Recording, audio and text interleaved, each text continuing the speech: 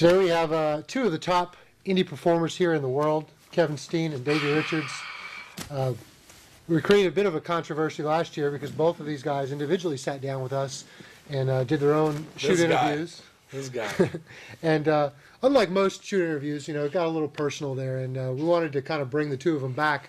Uh, first of all, to kind of like sum up what happened in those interviews, where they were at. I know both of you guys have talked to each other since then, and, and you know, mended the fences, and then we we, talked have before I did mine, actually. before. Yeah. Yeah, and you know, I remember uh, we had your interview first, and you. I don't remember the specifics of it, but you were in a weird place that day, and you Yeah. were, you were really open. Do you remember? Weren't you in the corner of the ring or something? That oh, corner you mean there. like in his life? Okay. this is a joke. We love each other. Dave, do you remember? Uh, well, you know, you were you were kind of uh, I don't know, bitter might be one word to use. but Yeah, you- no, it's absolutely true. Uh, very frustrating. Um, not with Kevin. Um, A little bit. no, no, because I, I, I'd tell you personally if I was with you. Uh, with Ring of Honor, uh, and, it was the, during the period of time where the uh, the whole I was torn between Ring of Honor and New Japan, and you know I couldn't win one for the other, and, and then the whole Iowa thing happened. And I felt really disrespected, and uh, that was kind of just me. Uh, to be honest, that was a that was a starting point of me kind of understanding that I don't I don't have a place uh, in that company anymore, and, and and I vented on Kevin, and uh, which the I, Iowa thing happened after. huh? The Iowa thing happened after your interview. Oh, is that after? Uh, I'm I just all I see is this big span of time where it was like one thing after another. um, but It, it was it a did happen, but uh, the Iowa thing might have, in some ways, been uh, you know part of your mentality. What happened in Iowa? I know you talked about it online, but Yeah, no, yeah. So we we got booked, me, Tony, and Kyle, and a couple students, but there's kind of extras. And we went up there and yeah, we did these shows for this guy and the other guy, and we did this seminar for the guy. We and we go to the show, and then Tony got hurt that night, and it was a six-hour drive from the Saturday show to the Sunday show, and we called this guy and just some random guy running the show. You know, it wasn't even Jason Strife; it was just one of his students, and um. And uh, hey, is there a way we can turn this to a six man tag? We'll work for cheaper, whatever you need to do. If you don't want us to, no problem. And uh, we found out later what happened is the guy looked out and he thought he was going to draw these huge numbers because he had the you know Ring of Honor guy on there and whatnot. And he looked out there and it was still his normal crowd, which was like 25 people, and he was going to lose his butt big time. And so he's like, "Oh, if he's hurt, then you know? Just don't show up. You guys can't wrestle. Don't worry about it." And like you know, we're we're more than six hours from home, so I have to drive from uh, near Kansas back here then down. They were like, dude, we can't come all the way up here and you not pay us. It doesn't work like that, dude. We'll work the singles matches trying to help out Tony because, you know, Tony, God love him, is old and not in the best shape of his entire life and getting hurt. And I'm quite scared for his health. But regardless, you know, it's fine. So he tried to cancel on us. And, uh, and I, mean, I vividly remember the thing that pissed me off. And, and I'll be the first to admit that, you know, like, uh, I have a short fuse. Uh, is that Tony says, uh, "We do. You just can't cancel on us, man. You can't do that." And the guy goes, "I just did," and hung up on him, which pissed me off. You know what I mean? and Tony has a problem with confrontation. I don't.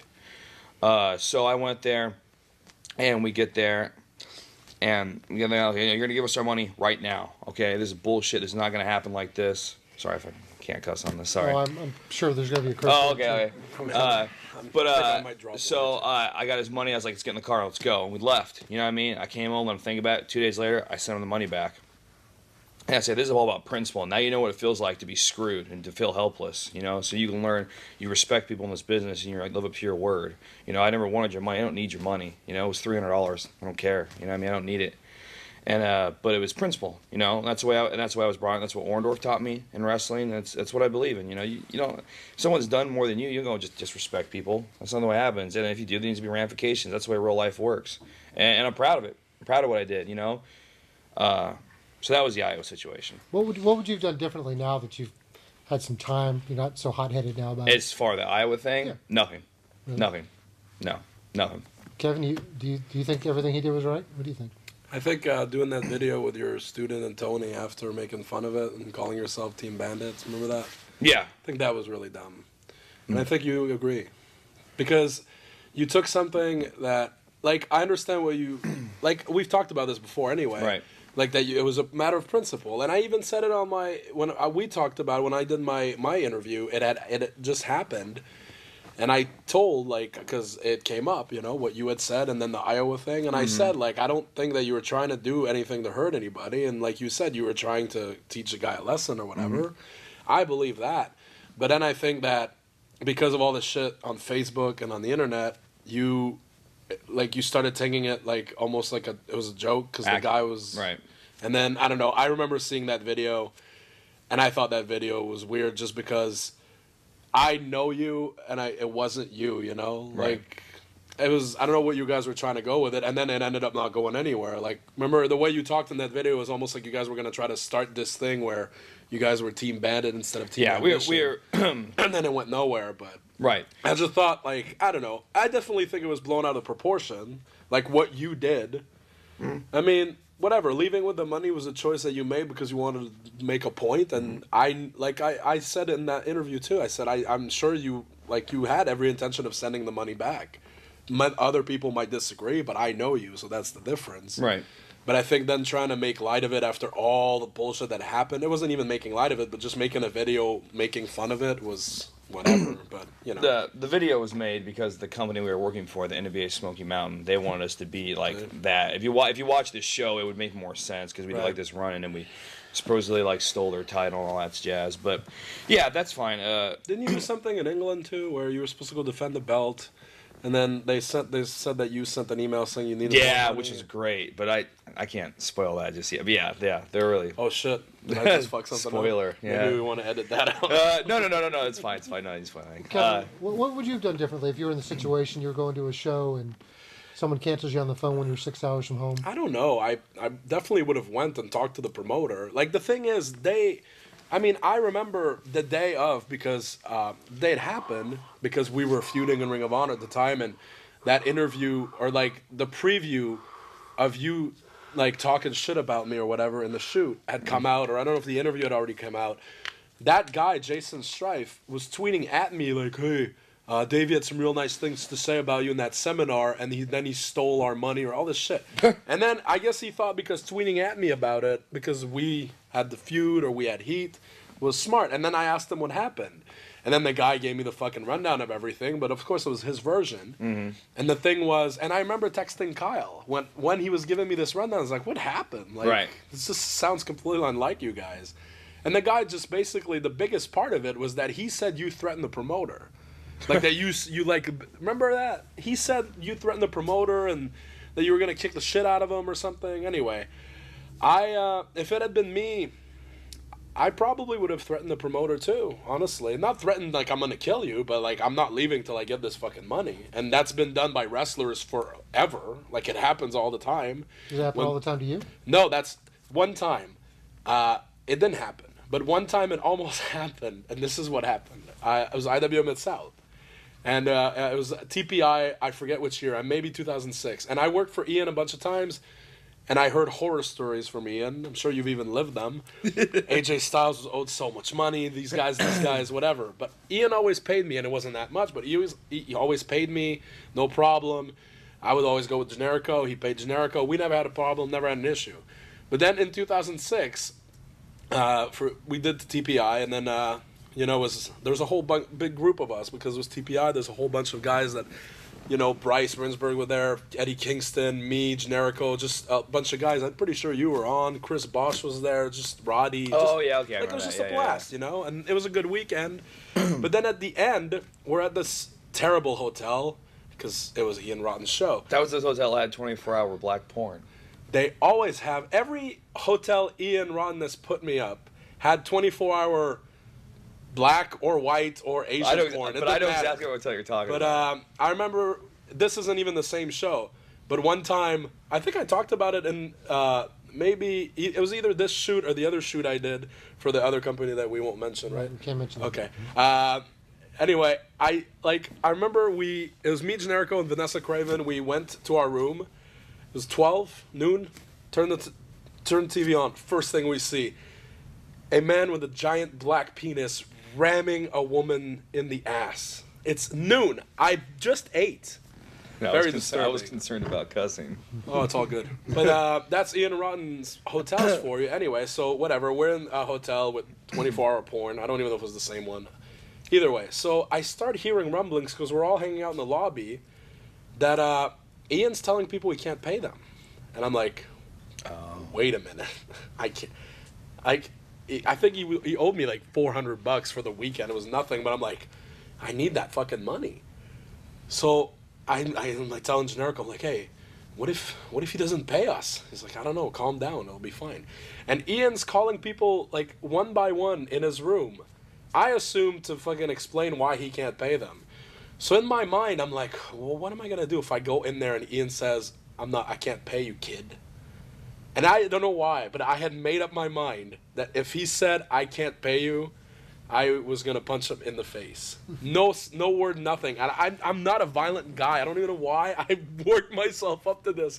But I remember walking into the room when it was my turn, and I was like, my fists were balled up. I was ready to get into a fist fight with him. No idea why. And Ian, I mean, you know, everybody will say he's kind of a piece of shit for the way he does business and whatnot, but he was always super nice to me. So the why I would want to punch him in the face, I was just so angry. And then he handed me my money and I left. He there was no he didn't even try to be like uh you know, like, hey, I can't he just thanks a lot, Kev. And I was like, Hey, thanks, Ian. And that was it. That's the closest it came to. I heard other guys didn't get their money. I got really angry, and then he gave me my money, and I was really happy. So Did that's you- the closest thing I came to getting stiff. But maybe Davey has Have different you, have stories you ever about been that. stiffed on a peg? Uh, yeah, yeah, Alex Shane. Ooh, Yeah, I've never dealt with him, but yeah, I've heard Alex great Shane. things about that. And uh, that'd have been an ass whooping had I seen you. But what really pissed me off about that was we went over, and it was the first time I ever been. To, uh, no, I'm sorry, second time. First time was with PWG, but the second time we didn't went over for the Ring of Honor weekend, and then some of the guys, Alex Shane, had set up a uh, like a week long tour, seminars, whatever, and it, it concluded in Germany. And so I stayed. Uh, me and uh, Generico stayed in his loft in London, which was just, and I had to hear this guy's conspiracy theories and stuff. It was just, I heard about yeah, this. yeah, I, yeah I, I'm from a farm in the middle of nowhere. I don't care. Okay, you know what I mean? Like, can I dig it? Can I sell it? No, that I don't care. You know. Anyways, so uh, uh, so I go and I, I go out and stay with this other guy, uh, that nerdy guy, a really nice guy though, in England. He lives in that little apartment. Is he a fan?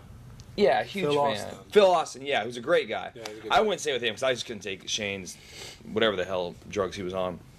Anyways, so I want to pay. I'm going to pay. I'm going to pay. I'm going to pay. The last week, the last day, I'm sorry, in Germany, he he flies this girl, that Kelly girl, from England to Germany to sit there and tell like ten pissed off wrestlers that Alex Shane isn't going to pay him, right? Which is just. It, it, well, you're already cussing. You're a pussy. Yeah, it was a pussy thing to do. You didn't man up. You didn't take responsibility for what you should have done, and that's. So that was the only time. Uh, Ian actually owes me money too, but uh, I knew that one going in, so that yeah, that wasn't really that big of a deal. But no, but uh, the last thing I'll say in the Iowa thing is this: he brought up Jason tweeting him or whatever the hell they do. And then I, I remember see. I don't even have Facebook, but I remember this whole thing unraveled throughout the week, and you were answering him on your Facebook or something like that, weren't you? And he was saying shit, and then No, I- then I put out a statement, Didn't that you was put it. your phone number or some crazy No, no, stuff? no. I put out a statement, and that was it. Um, he may have, but uh, like, see, I did you a favor, Jason, because I could have put all the messages you sent me and how you admitted how that was all a ploy to get yourself in Ring of Honor, and how you were begging me to get you a spot, and how you want to fly me up so we can work this angle. Like, I know what you're doing the whole time. This is your one shot, like you know, but. You know, you're not. You're gonna have to do it the way I did it. You're gonna have to get in there and work hard and bust your ass. You didn't want to do that. You wanted the shortcut, and this is your chance. And obviously, it blew up in your face. You're back in the middle of nowhere. So, I guess the ends justify the means. Uh, I know after Kevin heard the statements that you made on our interview, you guys kind of had a, a discussion and kind of worked it out over the phone. Yeah, Can, can you talk about that conversation, Chad? yeah. I mean, what happened was I, uh, I I saw I had seen the trailer of the interview, and in the trailer he called like I forget what he, terms he used, but shock rock or something like that. He, like that I was just doing like car crash kind of thing, and it wasn't gonna last. And I, I really didn't mind him saying that. If that's how he feels, that's fine. And hey, like for like uh, not so much anymore, but for those first few months where uh, I came back to Ring of Honor, I was trying to like shock people and just do stuff that would get talked about. That's always what I've been doing, really. I just try to get people to talk about me because I feel like that's how I stay relevant. And if that's how Davey felt about it, that was fine. But what upset me is um, somebody sent me like the ten minute. I don't know. You talk about me for maybe ten minutes or maybe even five. uh, in that little interview. And somebody sent me just the audio of it, and I remember I was at my mom's, and I listened to it, and at first I didn't like it didn't upset me at all. But then I was like, man, I think I'm upset about some of the things he said like uh, that I just couldn't go in the ring and I was begging to go home in that title match and stuff like that. So I'm like, you know what? Maybe or that uh, the stuff I would say about you. That's the part that upset me the most is that you seemed upset about the things I had said about Right. you. And that upset me not because oh what a piece of shit. It upset me because we're friends and I Right. didn't like that I had hurt your feelings. So I remember sending you a text message, and I was angry when I sent the text. And It was something along the lines of like, "Hey, just heard what you said about me in the shoot. I guess it's just a big work, eh? Ha ha ha. Good old DR or some shit like that." It was Right. very. And then you were like, "What? What did I say that was so bad?" And then I called you, Right. and I remember I was driving and we were talking. We talked for like an hour, and I basically, I uh, like I apologize for a lot of the shit I said, but I want to, and you'll agree, I think, unless you disagree. But I remember in the conversation you said that all the stuff I had said about you, one had been cleared by Ring of Honor or told to me by Ring of Honor, like Jim Cornette, to say. Right. And I always kind of made sure that you were okay with what I'd say about you. And you would always say it was fine. But hmm. here's the thing you would always say it in a way where I knew that was kind of bothering you, but that you were letting it happen because you wanted the angle to work. Like you, you know, you have a demeanor about you where if I say, "Is that okay, Davey?" You'll be like, "Yeah, it's fine. That's fine." But I know that it's kind of not fine, but you're just putting up with it. And I've told you this before, like, and I mean, I'll say it in front of the cameras. If it wasn't for you letting me say all that shit and do all that stuff, and other wrestlers too, I would have never been as over as I was when I came back. Like I was given, I was lucky. I was given a clean slate, eh, not a clean slate, but I was given carte blanche to say whatever I wanted, do almost everything I wanted, and you know, a lot of guys could have been like, "Hey, well, fuck this. Why does he get to do Right. this?" And nobody did, and that's a credit to everybody because you all let me do this. And I thanked you several times for it, and I thanked other other people for it. But then when I found out that it had upset you and that some of the things I had said hurt your feelings, that bothered me because I never meant to do that. Right. And then that's why I called you and we explained it. And I think a lot about that part anyway. I'm not talking like we'll talk about you saying what you said about me during the match or whatever. But that part you said there was a misunderstanding and it seemed like Cornette or Ring of Honor was telling you that I was coming up with this shit on my own. Like I know the thing that bothered you the most is me saying you were a shitty cha- champion because you chose to go to Japan instead of coming to Ring of Honor. And I think you were told that I came up with that on my own. And I've, as I've told you on the phone, I was told to say this by Jim. So. Yeah. Uh, yeah. And and you're absolutely right. You, you did call and handle it like a man, and I appreciate that. And it was that time when I realized that I um that it, what I had been told by Ring of Honor and what you had been told by Ring of Honor at that time was uh, two very different stories. And uh, and uh, I really, really, I, I'm really quite ashamed of what I said because I should have done what Kevin did, which was call him first. You know, what I mean, um, and, and talk to him. But I just, But You you, know- had no reason to call me in a way because this wasn't really an issue. No, it was I- I- something no, you I- were putting up with. But then when they asked you about it in the shoot, it came out because that's how you felt. No, So because I not- it is my fault, Kevin, because I, I let it pen up, and it, and I should have called you because it bothered me, and you know, and it, you know, I get a little bit here, and plus the thing is like. At that point in my life, you have to realize like I was a champion. I was a champion trainer. I'm go. I'm just going, going, going, getting to a show, going. I'm not even thinking about it. When I finally sit down and like think about things, I'm just I'm I'm pissed off. You know what I mean? And it's like, man, I'm trying to work my hardest. here. I've always prided myself on hard work, and then like I'm thinking like this is coming straight from you, just trying to use me to get over, and I'm not understanding like they told you to say this, and now I get the whole story, and I'm like, oh, now it all makes sense. If I had known that Japan thing would bug you, I wouldn't even say And it. I- and I to 100% me, believe that. To me, that was the least interesting of all the shit I said. Like when you made that comment on Twitter about how pro wrestling was your hobby and ju- like uh, jujitsu was your passion. Right. That was like great fucking. Oh my god, I got like I have to use this. This is great. You know what I mean? yeah, and that's where I was trying to go with it. I mean, because they were cheering you and booing me, and like, let's just roll with it. You know what I mean? And mean? then yeah, and but like stuff like that, and just like I know one of the th- you told me that one of the things that bothered you is the way it wasn't even what I said about you, is that after the main event in March with you and Kyle against Adam Yeah. and Eddie, they had me come out and just destroy you guys on the mic, Yeah. and I I literally said Adam and Kyle shouldn't be in this main event, and I know that bo- bothered you. Mm-hmm. it did.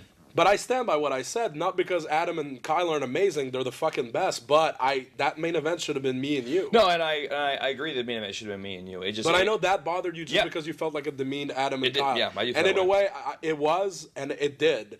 But I think that was kind of the point. You know, like that's what they wanted me to come across as. The problem is, I think the whole problem with the way that this the angle was booked. And I mean, whatever. I just throwing Jim under the bus, but I don't care. That this was Jim's deal. It was his angle. Is Right. he he was flawed in his fucking mind. He didn't think people would cheer me. He literally thought people would boo me because no, we love Ring of Honor. How dare you? And that's crazy. Yeah. Fucking look at history. Like how Yeah. can you not tell? And then the worst part is he he wouldn't let you have balls. Remember? Yeah, no, he wouldn't let you fucking be hey fuck you or like tell Right. the fans off. No, you were just supposed to fucking get in the ring, do your pose, have a fucking amazing match, and even people like even if people are fucking booing you or like talking shit, you're just supposed to be like. Thank you very much. I love wrestling for all of you. And that was the fucking worst part of it. Yeah. And then when you, I remember one time at TV, you were just like, remember you told Jim off on the in the ring, and fucking people popped huge, and Jim was like, we came to the back, like, that was great. Fucking no shit. We Yeah. tried to do it for Five minutes before, told me not to say any of that I Yeah. out there, but I remember that. Yeah. And we did anyway. It was the best, best promo we did for the whole. yeah, uh, yeah, that was a terrible, terrible. But I think I'll say this though. I think that one of the part that was really bothering you too, and that was making you bitter, is the fans' reaction. Not to, not the fact that they were cheering me, but I think the fact that they were booing you the way they were, and all you did was literally. And I said, remember in New York when after we had the blow off match, and I I cut that promo. right. I said that. All you did was literally have great matches every night. You fucking put your heart into your work. You busted your balls, and they just booed. Because one, they never let you have balls back, and two, I would fucking say this shit. So I understand where you were coming from with the frustration that fuck, he gets to say anything he wants. And then you would never get to fuck, you'd never have a rebuttal. And then after that June show, I don't know how it happened. I don't know if Ring of Honor told you that you were off for a while or that you asked for time off. I have no idea about that part. But then it was just that was it. The last thing that happened in that feud was me talking shit to you, me talking shit to you, me talking shit to you, you not really getting to say anything back. Then I beat you for the belt. Then I talk shit to you. Finally, you had one promo where you got to fucking say, tell Jim to fuck off. We had that match in New York. I Kyle Kyle told you to fuck go fuck yourself before the match. I beat you in the match, and then you were gone for three months. Yeah. That was your six months. So I understand why you were frustrated. What, Yeah. did, what did happen? Why did you leave for three months? Uh, I was. Uh, this is gonna turn into a real big shoot interview. so I was supposed to go to Japan for the entire summer. I was supposed to go to Japan, and then I was gonna go live in Thailand to train kickboxing, and uh, I, uh, I, a, big personal goal of mine, and this will all tie in. Follow me on this. Uh, is uh, I always wanted to do, do the wrestling thing, and I always wanted to uh, graduate paramedic school. That was my two big goals in life, and I gotten so close. And then New Japan called, and I started traveling the world and this thing. And in March, I was like, I'm I'm gonna finish school. and I told New Japan this at the end of it. It was after Tokyo Dome. I was like, I'm gonna finish paramedic school. It's a big goal for me. I really want to do this. Okay, no problem. They called me March March 1st, my birthday. They're like, we want to bring you in uh, March 10th. What's your birthday? Yeah, yeah, 30 years old. Jesus. Uh, uh, uh, we're gonna put the IWGP Junior title on you, and which was a huge goal. You know, what I mean, I'd be the first non-contracted guy to win that uh, in a long time, and really cool. And uh, and I get there and I fly to Tokyo, and I you know I and I quit paramedic school again, and they're like, well, uh, plans have changed. We just need you to put over a Devitt, you know, which Ferg's great. He didn't do anything wrong, and I was like, oh, you fucked me. And I was like, oh, and I was like, and I, I remember I told him like last week, I will see you next time. I was like, dude, you'll never see me over here again. I'll never come back here. And uh, so I come back and then we do the thing. He beats me for the belt, boom, and all that stuff. And they're like, we thought, and I told them the whole time, like, no, I'm, I'm gonna be here now. I won't be gone. And they're like, well, we need you just to take time off. You know, like your character's stale and stuff, and this, that, and the other, and uh, and that was my deal with that. But I think the biggest thing I can look back now um, is uh, one. Who- I'm sorry. Who said to you your character was stale? Uh, the the office. Ring of Honor, you Yeah, Ring of Honor, Ring of Honor office. I'm sorry, I should have clarified that. And uh, you know, and it's you know you need to go back and just kind of refresh and then come back and then you know this will all be fresh and you'll go on a tear. And I can't remember I can't remember the plans I had because I just kind of tuned out, and and that's when I and that's honestly where I developed the mentality that I have right now. And people can be like oh that's ridiculous, that's ridiculous Wes. That's you know you're not thinking right. But like I I have no place in Ring of Honor. You know I'm a dying breed, you know? And and people can disagree with that, and these two right here can disagree with that. And that's fine, and that's when I learned like I don't. I don't disagree currently. I think you're just doing whatever. Yeah, no, I am. but I think eventually, soon enough, you'll be doing something that matters. The problem is, I think Ring of Honor has gone from having many interesting angles to one main angle and then really good matches. And you're that part. You're the really good matches. You know what I mean? And I have been doing the angle part because I can't have matches like you have. So I, I get the angle and I get the promos and I get the thing. But the problem is, in my opinion, in order for wrestling to be super interesting, uh, even if you have amazing matches, you need strong angles behind it. I do think this is about to change in Ring of Honor because there's a change in management, and I think current management is a lot better than. And again, it might seem like I'm burying Jim, but I don't care. I think Jim's a great character, but I don't think as uh, as Booker, I think he he just he wasn't going anywhere. So, but uh, that's that's why I'm saying maybe you're Right. right about now, but I think that's going to change soon enough. But if that's how you feel, that's how you feel. Yeah, Can you- yeah. Can you clarify for me? Because a lot of this might sound like Davey, for the first time in several years, isn't the top guy in Ring of Honor. yeah. No, I'm Yeah, not. it's kind no, of- I, I, uh, I mean, I, I, I could leave today and it'd be the exact same show. You know, uh, you know, you know, it's funny, man. I, I did a Dynamite Kid thing with you guys, and uh, I, I read that first line that you underlined. I didn't even underline it, and um, it says like, you know, all I ever wanted to do was be the best in the ring, and uh, I didn't care about promos or characters. You know, I'll be coming out and be the first to admit this guy will cut a better promo me any day. More interesting character, and if I was watching wrestling, I'd rather watch him. As a little kid, as just a fan, not understanding like work rate and stuff, absolutely. Uh, but and but I never cared about those things. You know, I I cared about you know being the best wrestler in the world. That's what I always cared about. I think that's part of why you were getting bitter too. And I think that started years ago with Ring of Honor. I always remember this, and this was different management. It had nothing to do with Jim or Delirious. Uh, Pearce was in charge actually. I remember you had the match with Kenta in Houston. Yeah. and you guys fucking rocked it. And this is the thing And I about got in Davey. trouble and for it. Going back to high to the the high spot shoot that you did. Mm-hmm. Obviously, this is going back to why I was so upset about it. Is that me and Davey, just to give people background because they might not know. I met him in 2005 in California, or 2004 in December Yeah. for Gary Yap. Yeah. That's the first time I met Davey. And you were, I think you were a very different person back then. You're very, you you've always been kind of quiet and kind of, you know, you keep to your own. But back then you were also extremely humble. You were brand new in wrestling. You were just Tony's Tony's kid. That you know you're just going around with Tony and you were doing like I remember the first time it was you, Tony, and Generico in a three way. Remember that? That's the first time I Oh, saw yeah, you. yeah, anyway, yeah, yeah. and then slowly through 2005, we'd kind of run into each other once in a while in California. And then I we wrestled for Gary in September of 05. That was our first match. Right. And uh, God, I remember planning with you. I almost called every spot except one thing you really wanted to do. You wanted Kenta's tornado DDT that you end up on the apron and that chokes me on the rope and the springboard drop kick. Anyway. wow, it must have been a long time ago if I was springboarding. I remember. and then uh, anyway, we did that, and that was the first time we met. And then you started doing PWG because somebody dropped out of Bola, and they booked you to take his spot that day. Yeah, remember that? versus and when you came to the curtain, people went fucking ape shit because they're so happy that you were in it because you were up and coming, and people wanted to see you in PWG, and that's how it happened. Starting then, me and Davey. I, I always considered you one of my best friends in wrestling because I, I, I saw a lot of me in you weirdly. Like we were both quiet. We don't fucking drink. We don't party.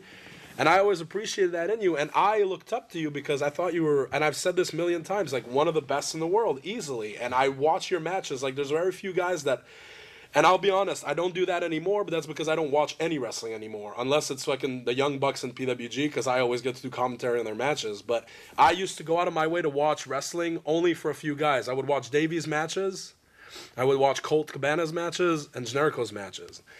And uh, I, you know, I just I was amazed with the stuff you did. And when we wrestled, we'd always have good matches, and I appreciated that. And we were friends in personal life. You, we talked about personal things. We've always known each other for a long time, so we were close. That's why the stuff that you had said in that shoot interview was upsetting to me. Right. But I, that's why I remember the match with Kenta. Uh, Because you know you always had a weird track record in Ring of Honor as far as, as far as with the boys. Like because you kept to yourself, a lot of boys took that weird. Even Yeah. before I came back, you were there for like a year, and I kept hearing about how oh you know Davey doesn't talk to anybody. He just thinks he's better than everybody else and all this shit. And I knew be- I knew better. I knew it was just you. And then when I got there, that's the, that shit was still going on. People would talk about you like, oh, you know, he just doesn't give a shit about anybody but himself. And I knew different. But then you were always fucking having the best match on the show. And then you had that match with Kenta. And I always remember, fucking tore the roof off, came to the back. And I'm pretty sure you got not chewed out, but they were like, "What the fuck was that?" Yeah, yeah. And they were like, "What the fuck were you? You know, uh, why'd you do all this shit? Why'd you take that bump to the floor? It was stupid." and I felt for you one because I knew you. All you were trying to do was have an amazing match, and two, I had gotten me and Generico had gotten the same kind of shit when Pearce took over.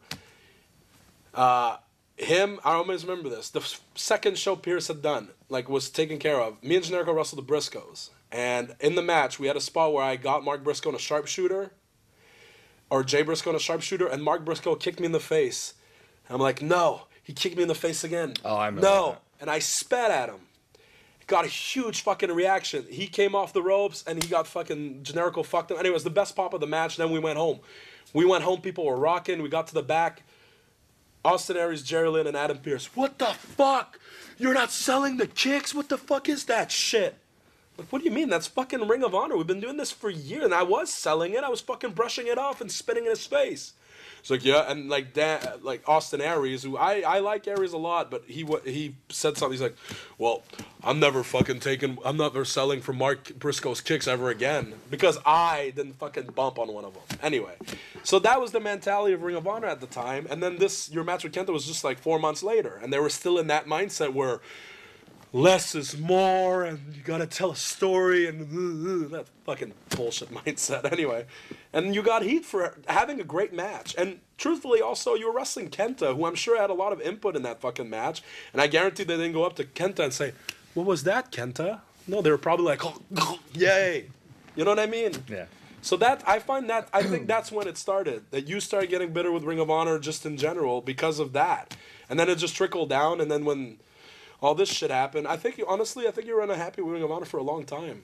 Am I like my maybe making this up or Yeah, this is no, the I- feeling I got? From Yeah, you. yeah, no, uh, like I, I was unhappy with with Ring of Honor and with Noah. That was that was my to Noah that match. Uh, yeah, they wanted us to do 12 minutes and have Larry Sweeney do a run in uh, for GCG. yeah, so uh, Oh that- yeah, and Sweeney didn't make it that week. right. uh, that's when I first started figuring out that it you you gotta take the bull by the horns in wrestling and do your own thing. And uh, but uh, yeah, um, but we kind of got off subject there. It was going back to what I said about me not having a place in wrestling. Yeah, Yeah, uh, uh, I, I don't.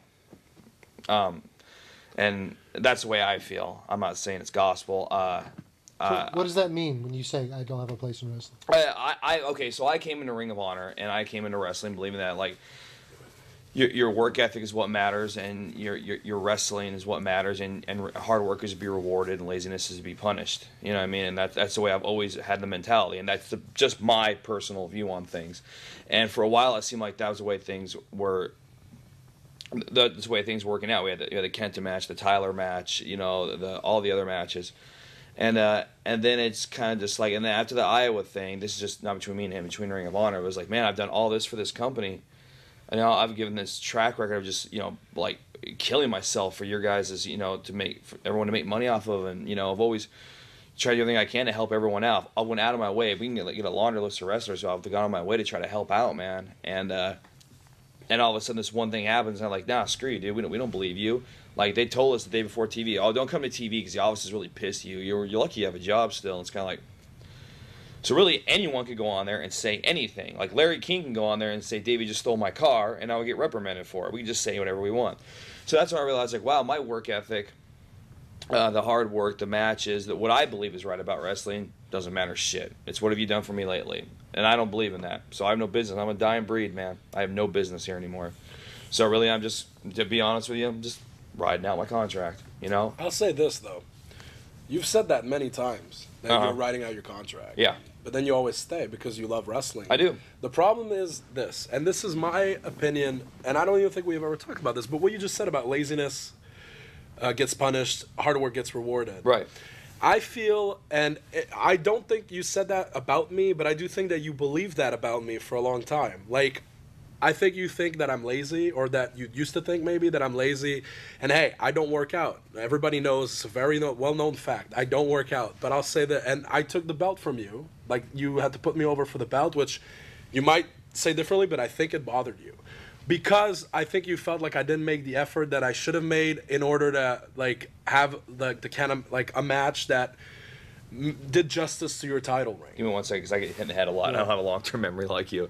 Uh, no, I, I didn't. It, it, I, I was bothered how I, how I lost the belt, not because of you, not because Okay. you just how how the whole thing was set up is basically like I just couldn't say anything back. Yeah, I mean, that's true. Not because of you. I don't think you're lazy. You know, I don't think you're lazy. No, no, no. we have different philosophies on physical training. That's one part of a I huge have no algorithm. philosophy on physical training. That's fine. That's one part of the algorithm when it comes to wrestling. You put a lot of time in your character, into your wrestling. I, I mean, I That's where hard work is different. Exactly, I think you and- work and I- extremely 100% hard at, at being a machine, and I think I work hard on thinking of creative ways not to have to work out. No, that's not true. I think of creative ways not to, to create Right. emotion in other ways. You create emotion Exactly. by having I incredible absolutely agree with matches. You and Kyle fucking rocked it a couple weeks ago in the.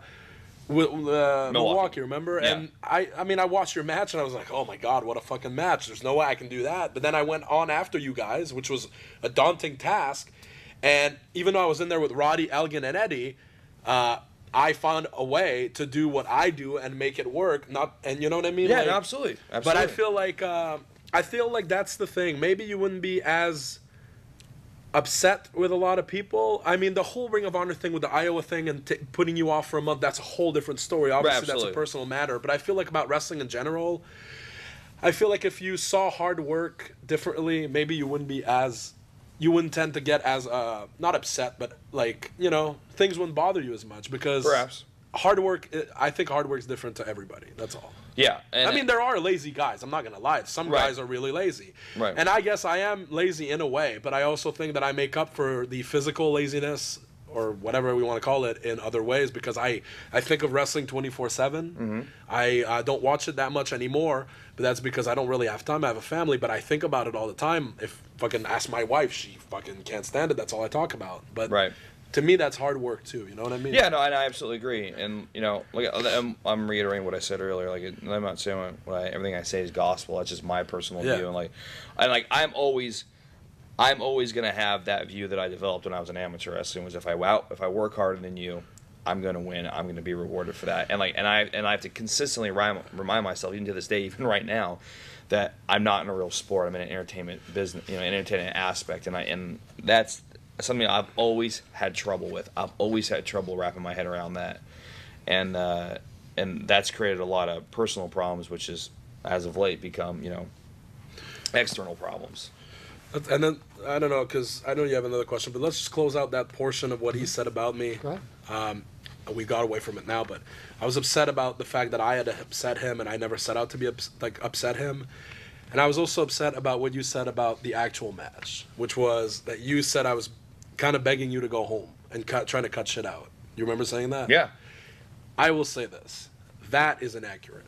I did try to cut one thing out, which was my pump handle knee breaker, uh, neck breaker deal I do, and that's because we planned it. Then backstage before the match, I said, "Hey, let's not do that," and you said, "No, no, let's do it." And in my mind, I immediately thought, "I'm just gonna cut it out in the ring." And I tried to cut it out in the ring, and you said no, and you made me do it anyway.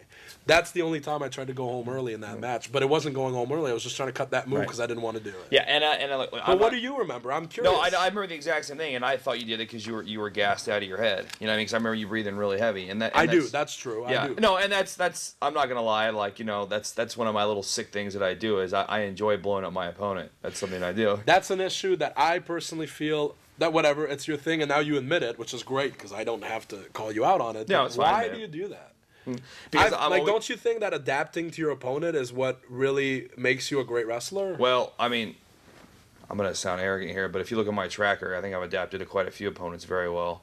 from all over the But world. yeah, you've adapted to guys that are in insane shape and can do the same kind of match you can. But and this is the thing, we've had so many matches. So many great matches. Yes, the only the I think the Toronto match was really good. I don't know how Yeah, you no, it was felt about it, fantastic. but I think that that was the only match where I felt like we weren't working the same match in a way. And I think that's because you were trying maybe because you were mad about the way you were losing the belt and you were kind of trying to take not take it out on me per se, but go ahead. This is my theory on this. I remember that, and like I you you talked about how you know me for a long time. I've known you for a long time, and I remember. eh, eh, Just let me finish here. Yeah, yeah. I, I remember you were not the same Kevin that day. You were extremely nervous. You were extremely just yeah. And I remember that because when I won the title, it does something to you, man. So much to where I got knocked out in the match with Eddie, and I don't think Eddie even knocked me out. I think I kind of like hyperventilated, and that's the honest to God truth. And I remember you were so uh, nervous in the match that you weren't like the same Kevin and I had, it wasn't ever one of those things that I was like, oh, you know what, I'm gonna go in there and just try to make this guy look. Is that what you're getting at? Trying to make you look bad no, or no, something no, like no, no, no, not at all. Oh, I don't okay. think you were trying to make me look bad. Okay. I just think that uh, you've said yourself you like to blow up your opponent. Yeah. But why, if if- like, why do that in any kind of match? And I I didn't feel that you ever tried to do that to me ever No. before, and I, I didn't even feel it then. But you just admitted it yourself, so uh, that's Mm-hmm. why I'm asking why do that. Because I, the way I was trained, uh, and, and later got reconfirmed by me being fans of who I was a fan of wrestling, uh, was that this is for. And I remember me and Brian talking about this on my first tour in Noah. Is like wrestling is for. The, the, the very elite, the best athletes. That's what professional wrestling is. We're supposed to be in the best possible shape, and if someone can't hang, it's not it's not your responsibility to keep up with them. I'm, I'm sorry to, to, to carry them. It's their responsibility to keep up with you. You know what I mean? And uh, you probably remember me saying a lot of times, and like we'll do like something in our match. I'll be like, oh, "You blowing up, bud?" You know what I mean? Yeah. Like, and uh, I remember actually. but- first thing you said. Sorry, go finish. and yeah, sorry. I, I, funny- I, was, I, I get hit in the head too much. I get short to remember. I think I get hit in the head too. Sometimes. Yeah, yeah, you more than me. I'm not sure. Though. Uh, you just have a thicker head than me, but uh, I uh, I, I've never had a problem with with with you having that in the ring. Uh, I, I've never ever ever had a problem with you doing that in the ring. You know what I mean? Um, I- you've never been one of the guys where I'm like, oh, I gotta carry this big guy. Oh my gosh, this is gonna suck. I've never ever ever had a problem, and we've always had great matches. So as far as me adapting to my opponents, I, I, I'm just curious as to why you have that mentality. But if it goes back to your training and your beliefs, that's Yeah, fine. yeah. I was trained very differently. and right or wrong, by the way, I Yeah. Uh, no, no, no. I don't think anybody's right or wrong. But here's the thing. Uh, you talk about the blow up thing. I remember um, I I won the belt. I went through the curtain. My face full of cake still because somebody had just given me a cake that they made and I put my entire face in it. And I got to the back and I was with Jimmy, and then it was weird. Like the whole roster did like a circle thing, and they were clapping, and I'm like, thanks. And then Cary's like speech. I'm like, this why? Just say something. I'm like, all right, well. And you were still in the ring selling, and I said, well, uh, thanks everybody. If you didn't let me say everything I say and do everything I do, I wouldn't be half as over as I am now. So thank you. And then you came through, and the first thing you said, not good match, not thanks. You were so blown out there, man, in front of everyone. And I just went, ah, and I turned to Jimmy Jacobs, and Jacobs like, what an asshole. But I'm like, eh, what are you gonna do? But but before and after that, uh, before we went out after that, I was like, hey man, I'm really happy for you. no, you. man. did. You took me aside at the end, and you said Yeah. that you didn't want, like, you were happy if you if you were gonna drop the belt to anybody, you were glad as me. And that really meant a lot to me too, because I felt like there was weird tension throughout the whole feud, and I, like I said, I don't think you were holding it against me. I think you were just mad at the company, and Yeah. it was easy to tell. I would even ask Kyle once in a while, like, "Hey, is Davey all right?" Like with me and the shit I'm saying, Kyle would always say, "Yeah, yeah, man, don't worry about it." so you know, Yeah. but yeah, so that kind of closes the whole chapter of the shoot. I call them. We iron things out, and as you can see now, things Yeah, and you know, and, and, and me closing is, you know, I, I just want to take the opportunity to say that uh, a lot of the things I said against Kevin were, even though I I thought I was told by Ring of Honor management that he was saying these things, and uh, you know, I I should I should have taken the route he did, which was the higher route, and, and called him personally. But I was very very bitter and frustrated at, at wrestling as a whole, between Japan, between Ring of Honor, because, you know, uh, I just felt I felt betrayed, you know, and and I, and, I, and and Kevin was honestly the scapegoat for a lot of that, and and that that's completely wrong, and that's why I went. And I also found out through this I have no place in social media, by the way. Uh, but one of the last things I wanted to do on my little adventure in social media, which is Well, actually, apparently I'm on social media right now. Yeah, we're gonna talk about that. Yeah, okay. But you see, but, I, but apparently I've gotten a lot nicer, so that's good. But anyways, uh, I want to go publicly. I want to PB Insider and say, hey, I want to apologize to Kevin for the things I said because I felt bad and it was I uncalled for. And and there's no and there's no excuse for doing that to a friend. He's always been a friend of me, and um. And and so I, I was wrong, and, and I, I apologize for. I'm apologizing. I feel bad. It's I'm all terrible. good. And uh, but yeah, apparently I still am on Twitter. I have no idea what I'm saying. Apparently I'm having conversations with Mike Mondo. Let's put it out there. We're gonna we're gonna, we're gonna come back to that later. We're gonna let you read your own Twitter later. Oh sweet, okay, this will be great. Yeah. So we'll uh, we'll maybe close. well, the, just uh, so people interview. know, Davey Richards eighty three on Twitter used to be you. Yeah, Then it wasn't you anymore, but somebody took over the account and still acts like Davey Richards and writes the funniest shit. If you read it yourself and you don't know Davey personally, it's not that hilarious. But for me, because sometimes it'll get retweeted and I'll see it, Davey complimenting the Undertaker's WrestleMania streak is so fucking really? funny. That uh, you've you've you've like Triple H worked an angle where he's retiring and you like the next day, oh Triple H, thank you for everything you've done. And It's just so funny. So uh, yeah, I, I worked it out so that maybe Davey later will read some of those tweets as if he had. Yeah, I'd love to. Now, himself. I mean, you've already brought it up. We've gone too deep. Let's We're do it. gonna All have right, to we're too deep up. in. Okay. I was trying to give him a chance to cue it up before. No, That's let's just do it now. but gonna- Let's get. rid- Have you? th- I asked uh, ahead of time to get some of the tweets ready for Davey to read. So just read all So, those. so you're gonna. Oh, let's be. Are you teaching him how to do Twitter? Right No, now? he knows how to do Twitter. He did it for a while, but just those are the ones that uh, I, I said were the best ones. And then I just a fan actually asked me, "Can you get Davey to read those tweets?" So there you go. So this is the kind of stuff that your alter ego has been tweeting. So about. who knows? Oh God, this is terrible grammar. who? Bear with me on this. Who knows what happened next in pro wrestling? It's Davey Richards' time. Well, all right. Uh, where's Santa? Well, that one's valid. Merry Christmas Eve, jerks. This is the this is the great stuff. And here comes the Shield. Who's the Shield? It's uh, Tyler Ambrose and uh, Roman Reigns is the new group there that they're doing, and they keep running into people's matches, Uh-huh. and which is explains the next line. Go ahead, To read it. ruin a Read great it. If, read Okay. it if, if you read. Oh yeah, verbatim. Okay, I'm sorry. And here comes the Shield WWE to ruin a great moment. Here comes Kane and Bryan. Oh, so doing commentary. Okay. Yeah, like, but think about Davey sitting at home, writing about Kane. Get him, Kane. Get him. Choke slam. All right. Uh, man, here's the Mike Mondo. See, Mike told me about this because the funny part about Yeah, this some was guys don't know, so they tweet at Davey like Mondo, who fucking I love Mondo, but he might as well live in a fucking spaceship. Like he might as well live in a spaceship. He doesn't. there's an interview shooter we got to do. That guy.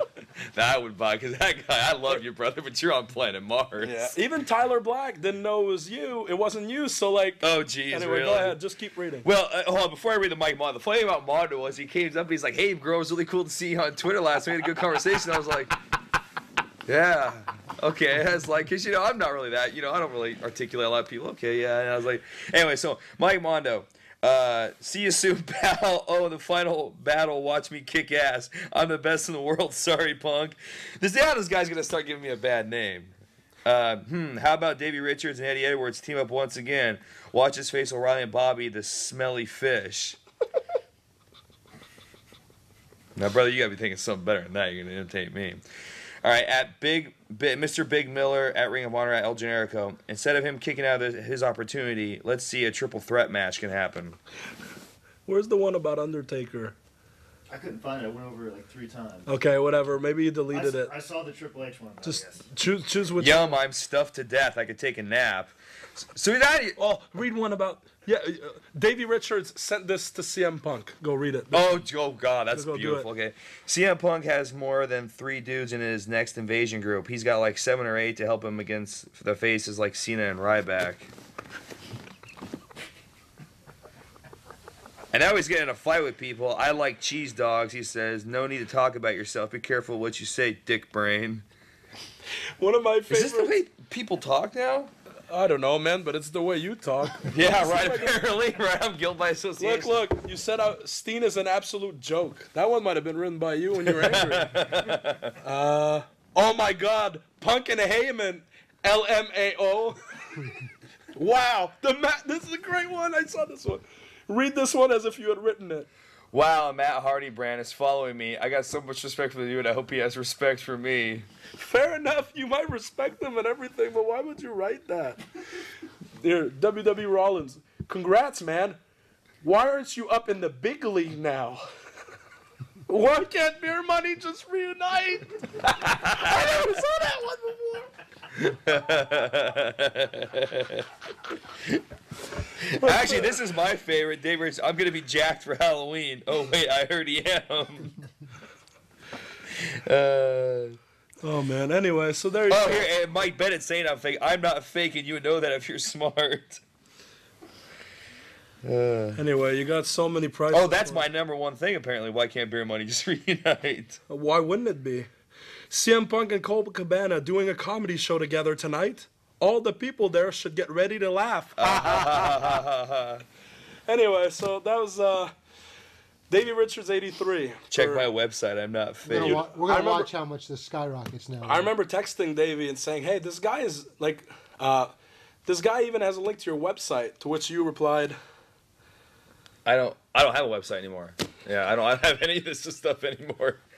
Sorry, I'm not. I'm not too "Oh, big on the man, internet. Whoever's doing this though, keep up the great work." Oh, here. My favorite is when I see wrestlers that I know, that know both of us, tweet at Davey Richards 83 because they don't know it's not you. At apparently Like, at, uh, yeah, at you and Seth, Rollins at had a Seth whole thing. Yeah, miss you too, dude. Oh Here, God, I- I, hope Tyler didn't say he missed me to this guy. No, he here. This is what happened. You were saying, uh, How do I see what they said? I don't know, maybe. You... Anyway, I remember this because this is when I got involved. You said Tyler, you wrote to Tyler, "Hey, quit busting your ass," and Tyler's like, "Ha ha ha! I don't know any other way, man. Uh, you know, it's been a while. Hope things are good." And then you answered, "Oh, I miss you too, dude. I heard you're winning titles over in WWE." And then I was like, I'm still hearing Ring of Tyler, this isn't him. And the guy's like, Steen, stop messing around. Ha ha ha. That's when I texted you. You said you didn't have a website. But hey, whoever's doing it, you're thoroughly entertaining. And especially when you tweet about Undertaker and Triple H. Like, Davey's such a big fan of theirs. Yeah. Well, keep it up. Keep it up. Yeah. You know. I Uh, bet it's Tony. oh Jesus, that would be great. That would explain all the long nights I hear Tony screwing around his phone Doesn't in his he- room. Isn't this just Tony? This is what Tony does all day, isn't it? Dude, dude, I literally walked into Tony's room at 2 a.m. and he's laying there naked with a towel on him doing this on his phone. The day Tony's phone broke because he burned out the battery was a man with no purpose in life. It was the saddest thing I've ever seen in my entire life. Oh man. Been away for a while. Been busy. This is the way he writes. He writes like, been away for a while. Been busy doing my job. In brackets, wrestling. Hashtag American Wolf. Good All stuff. right. Good stuff. Are we back? Yeah, we're back. Let's read one last tweet, please. Randy Orton tweeted, just watched 180 days ago. Randy Orton tweeted, just watched the True Blood finale. Pretty badass. To which Davey Richards, 83, replied, yes, yes it is. Davey Richards watches True Blood. Or at least someone wishes he did. What is It's a HBO show about vampires, but like Oh. current day vampires. Oh, wow. Yeah, I might like that. No, no, it's terrible. I, I disagree with you, but that'll be another another interview. Whatever. Well, I wanted to maybe uh, update. A lot has happened in Ring of Honor since uh, since we last did our interview. A little bit less has happened since since the one we did with you, Kevin. But having the We two did it a month apart, so not yeah. really. Well, uh, safety in numbers here. So you know we've already kind of gone down the Jim Cornette Yeah. road. But I, but I did want to ask some questions. Uh, tell tell me how do you feel Ring of Honor's changed since Sinclair has taken it over? Uh, there's, there's, I, the houses have gone up, um, because we have national television. That's really good. Um, he'd be the better person to ask, to be honest, because I'm literally, I'm not when I'm there, I'm not there. So I'm just kind of doing my thing. Yeah, like Davey's always been kind of off on his own. I kind of keep more. Uh, I keep my finger. I like, and it was like this even before Sinclair took over. Is I always like to keep my nose in almost like business that doesn't really concern me, but I like to know things. So I would always ask. Uh, Ross at the merch table, you know, hey, how you know how we do on merch, and yeah, we did good. Or like I would talk to Sid about just upcoming shows and ticket sales, and I kind of still do that with Sinclair, but it's very different. Like I don't get to know anything now because it's a corporation and just that stuff. They passed the the buck a lot. I'll say that. But um, I mean, I think the way it's changed is it's changed a lot in different ways over the past. Sinclair's had it for what a year and a half now. Yeah, about. Uh, I wasn't there for the first few months because they took it over in June of uh, tw- tw- 2011, and I, I wasn't there till December on full time. I was still in the company, kind of, because we did the angle where I was coming back, but uh, I only met the like Joe Koff, the president, like in December, and uh, he didn't know who I was, I don't think. And then, uh, but ever since then, I, I now have a pretty good relationship with Joe Koff. Everything's fine, and I think it's changed in many ways. First, Jim, they literally gave Jim all the power, really, and I think that it changed Ring of Honor a lot then because um, Jim booked the angles that he thought were good, and I think uh, I don't know. I think it brought new fans because of the TV audience, like the new TV market. But I also think that Ring of Honor wasn't what it was, so I think it uh, alienated a lot of the hardcore Ring of Honor fans, Yeah. like the fans that would buy the DVDs for the first eight years. I think a lot of those people were really pissed with what the product became, and Yeah. maybe stopped watching, or at least would still watch, but just not not care as much. So I think that was not great. I mean, we weren't losing fans in a way because we were losing fans, but we were getting new ones too. And to the people that had never seen Ring of Honor before, and I think I said this, uh, not like in a shoot interview, but I've said this in an interview on a website or on a podcast before, is if you watch Ring of Honor and had never seen it before and didn't know what it used to be, the Ring of Honor you were seeing with Jim Cornette's corny, uh, you put five thousand dollars, we put five thousand dollars, and the winner of the match gets ten grand, which I think is insulting people's intelligence. It's it's dumb, and it's it might have worked back in the '80s, but today it's really silly. But to fans that had never watched Ring of Honor before, I'm sure they watched that and been like, yeah, right, you know, the winner gets 10 grand, whatever, but they still enjoyed the wrestling. So I think that Ring of Honor was pretty cool still. It was just not as cool to the people who were used to what Ring of Honor was, which was about, you know, guys just busting their asses and no, like for the most part anyway, no cheesy angles, which I think was what Ring of Honor has been for a year, was really cheesy stuff. Like even us, like the Canadian flag and the American flag. Yeah, that? yeah, Walk- that, like that's just so silly. It's just not, you know. I mean, let WWE do that stuff if they want, but why us? Like we were always a great alternative. We were always a great alternative to what they did, and it seemed like uh, that was changing. But then now Jim's gone, and I think it's changing again in a different way. And it's not going to be what Ring of Honor used to be in the sense that it's not going to be the exact same. Things will still be different, but I think it's heading in a great direction again. Which I don't think uh, when Jim was in control, it was heading in a horrible direction. I just don't think it was uh, as good as it could have been. Because I used to think of Ring of Honor as a cool, edgy product that uh, anybody could watch and uh, be like, "Huh, this is this is different than what I'm used to, and it's interesting." And then I think when Jim took over, it wasn't that anymore. It was just like, "Oh, look, it's wrestling." You know, it was just cheesy wrestling, but it was really good wrestling. If you could stand the, uh, you know, the cheesy uh, promos to hype up the, uh, you know, the Richmond show where we're gonna have, you know, the Battle of Richmond and just stuff like that. You know what I mean? If you could look past that, then you still had really good wrestling. The only problem is, for a while there was run-ins every match. Remember that? Yeah, Run-ins- like WCW. run-ins, pull-aparts every match, every match, every match. That was getting really annoying too.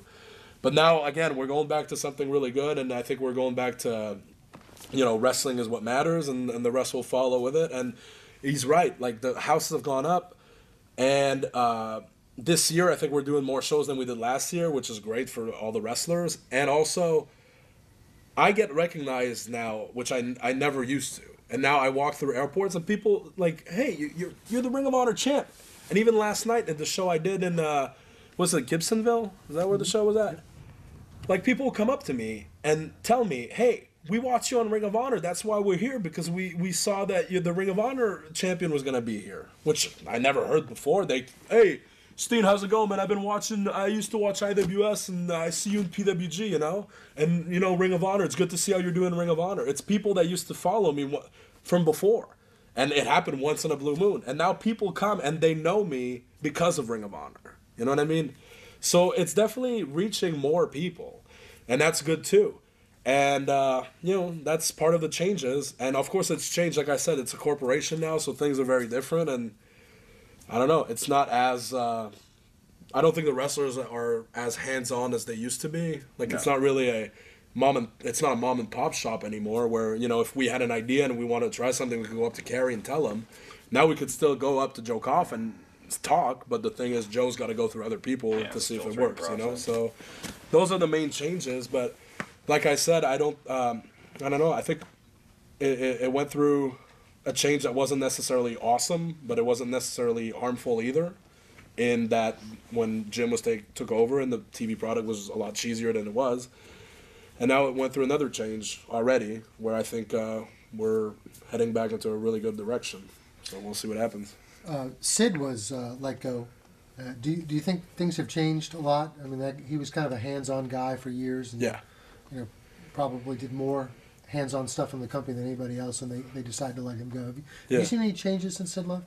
I mean, I've seen a change in the main part is I, I was really close with Sid. I really like Sid. Me too. Yeah. So and Sid had a lot of detractors. Like a lot of people didn't like Sid. Yeah. And I wasn't one of them. Sid was never anything but amazing to me. Yeah. He helped me out more times than I can count. Uh, in various ways, like if I needed a, a, like a little advance because I was tight on money, Cary would say yes, Sid would make it happen, or Sid would make it happen and tell Cary later, and Cary was always fine with it, obviously because he trusted Sid. And the main difference is Sid's not there anymore, so I don't, you know, I don't hang out and talk to Sid anymore, and I don't get to know stuff about how, yeah, business is doing all right. We're gonna try to go to this town. We're gonna try to go to this town. Now you just kind of sit back and you It's lost out. that. It's kind of lost that team ROH yeah, feel. yeah. It's I not mean? really a family. There, there's definitely that. Uh, doesn't have a little family thing feel anymore. yeah, But, I there's mean, definitely that discrepancy between like you know like oh you know the boys and like the office. You know what I mean? And uh, Not that the office is bad though. I'll say No, I'm not trying to it might demonize anyone, no. It might seem like I'm kissing their ass, but whatever. They're not bad people. I I uh, I like everybody that's in the office, but there's definitely there's the guys that deal with the office, and then there's the wrestlers. Right. And once in a while, the office will come talk to the wrestlers, but most of the time it's it's a separate thing, and that's okay too. yeah, so, know? such as such as business. You know, that's Yeah. just that's you know growing pains. The uh, a common perception is that uh, Greg Gillion doesn't really understand wrestling. Hmm. Do, do you share that same opinion? I don't know about that, but I don't think it matters. Like his job, I don't think whether he understood wrestling or not, I don't think it matters. I think he, his job is to handle like business stuff and money stuff, mm-hmm. and I think he's doing just fine. Like, and again, I mean, it's kind of weird that he's even brought up because I I didn't even know he was like. Like I didn't even know people thought knew the name Greg. You know what I mean? Mm-hmm. But I think I don't think it matters if he knows wrestling or not. I don't know if he does, but I think his job has nothing to do with wrestling. It's all about the business part of it. So How frustrating was it? I mean, when they took over in Chicago, one of the things they promised you guys was there'd be more dates, which you know, more dates means more money for you guys, and you know, at this point, it really hasn't happened. I think it's happening now, though. I've had the schedule for the like, next few months, and it seems like there's more dates. There's definitely more dates than last year. I think maybe what happened, and I wasn't there for that meeting in Chicago. I found out what, ha- like, I found out about the company being sold on Twitter. I was having dinner with my wife, and I got a text message from Corino saying this is what happened, and I already knew because they had put it on the website, rohwrestling.com. That's how I found out. And I wasn't there, but I heard that they promised like more shows, and I think that they meant it.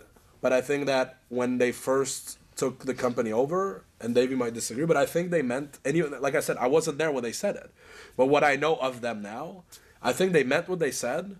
But when they, I think maybe they thought it would be more profitable right away, and then they saw that it wasn't as profitable uh, as they thought. So I think they just decided, well, the first year is not going to be more shows. It's actually going to be less shows because we got to figure out another business plan. And I think now they have, and they, I think now they know where they're going and they know what they want to achieve. And uh, I think it's getting better. So I hope it translates to even more shows. But I think they've started to take that that step. Does it scare you a little bit that a company, their direction's really dictated by whether they make money or not? Because Cary oh, really Oh, yes. funded Ring of Honor for years at a loss. Yes, this is the difference exactly. Cary love loves pro wrestling, and he kept Ring of Honor alive through losses because he wanted it. He wanted to be a part of pro wrestling, and he wanted the boys who he became close with because Cary's friends with every wrestler he had, or almost friend. You know, he wanted those guys to have a place to wrestle. Now, obviously, it's a corporation that's there's stockholders, there's uh, uh, people that like you know there's people that want to see profits. So if Ring of Honor isn't making a profit, they might just pull the plug. Who knows? So of course it's it's more stressful in that aspect. Like I feel, uh, but at the same time they have more means than Cary did, and they have better knowledge of business. So you know it's kind of, you know it's it's it's hard. I get it's hard to gauge. Like I I don't think Cary would have I don't think Cary would have ever closed down the company, and that might have been awful because maybe he would have lost all his money. You know what I mean? Or his mind. Yeah, or his mind, and I think he was losing his mind at one point. I think because he didn't want to close the company, but I think he need he felt like need to. But then he sold the company, and then now he sold the company to people that know business and have a business plan and know what they want to achieve. So the company, I feel, is in better hands in the like in the sense like the like corp like business. Like I said, they know what they're doing. They've they built a network from the ground up almost. You know, like they bought TV stations and however it happened, they made that into what it is now. So now that they have the wrestling company, they have knowledge of how to make something grow. So I think like it's positive in that aspect, but also the only difference is Cary probably cared more about the actual wrestling.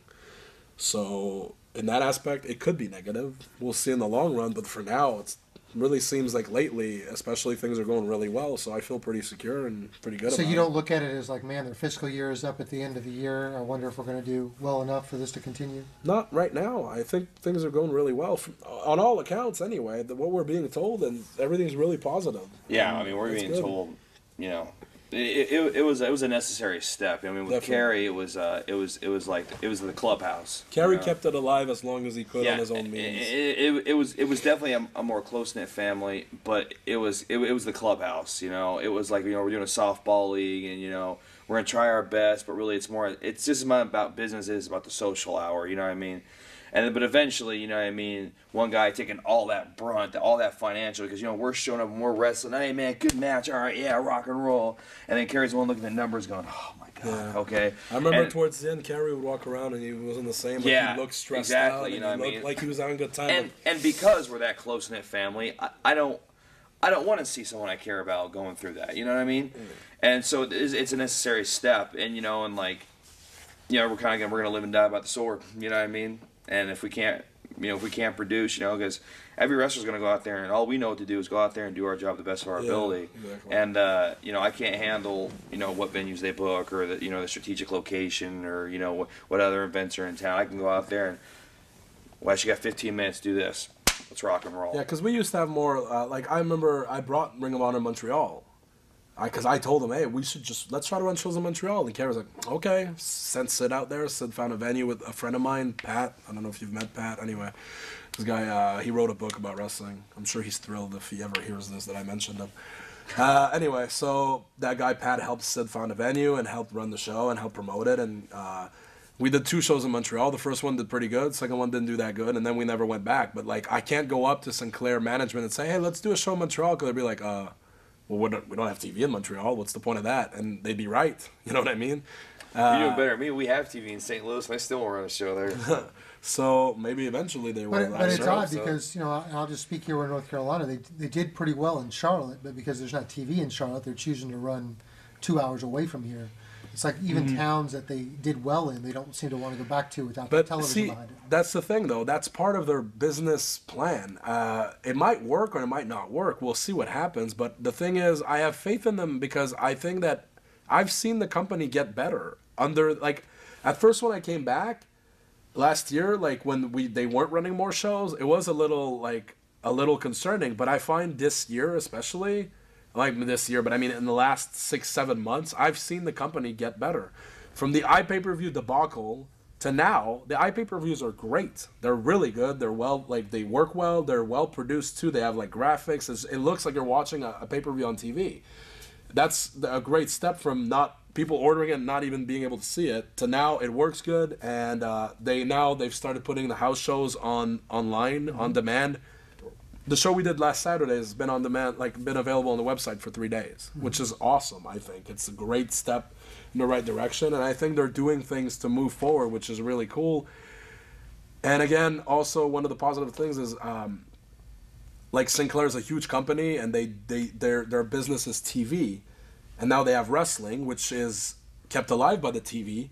But the people taking care of the wrestling company obviously want to look good to their bosses and the other shareholders and all that stuff. So they want wrestling to work out. You know what I mean? Like Cary obviously wanted wrestling to work out. Sid wanted wrestling to work out. Everybody did. But those guys, their jobs depend on it. So they really want wrestling to work and they want to make it work. From Greg to Joe to everybody involved. So I think that's a, a positive thing too about it. Is uh, you know when it, it got sold, everybody's like, well, now it's a corporation. But I don't think that's a bad thing, honestly. You can And- watch the shows on the internet now. Yeah. Damn, You can watch your match with Carl. I I'm so out of the loop. And also, um, the uh, one of the things too is they want to make money, which in turn also helps us make money. Like uh, the royalties are better now. The royalty we get off Yeah. the T-shirts and stuff, and they're they're committed to because they and they make money off of it. So. I've had like six shirts or five shirts in the last like six months, or no, not maybe six months, but since I came back, in the last year, I've had like six different shirts. A lot. Some people are even like, when I remember when the last one came out, they were like, "God, another Steen shirt." But it's because they they know that I, they're they're gonna sell those shirts. They're gonna make money. I'm making money. They made two DVD compilations of me. They made two of you or one of you and one of you and Eddie together, and you know what I mean. They they make these DVDs now.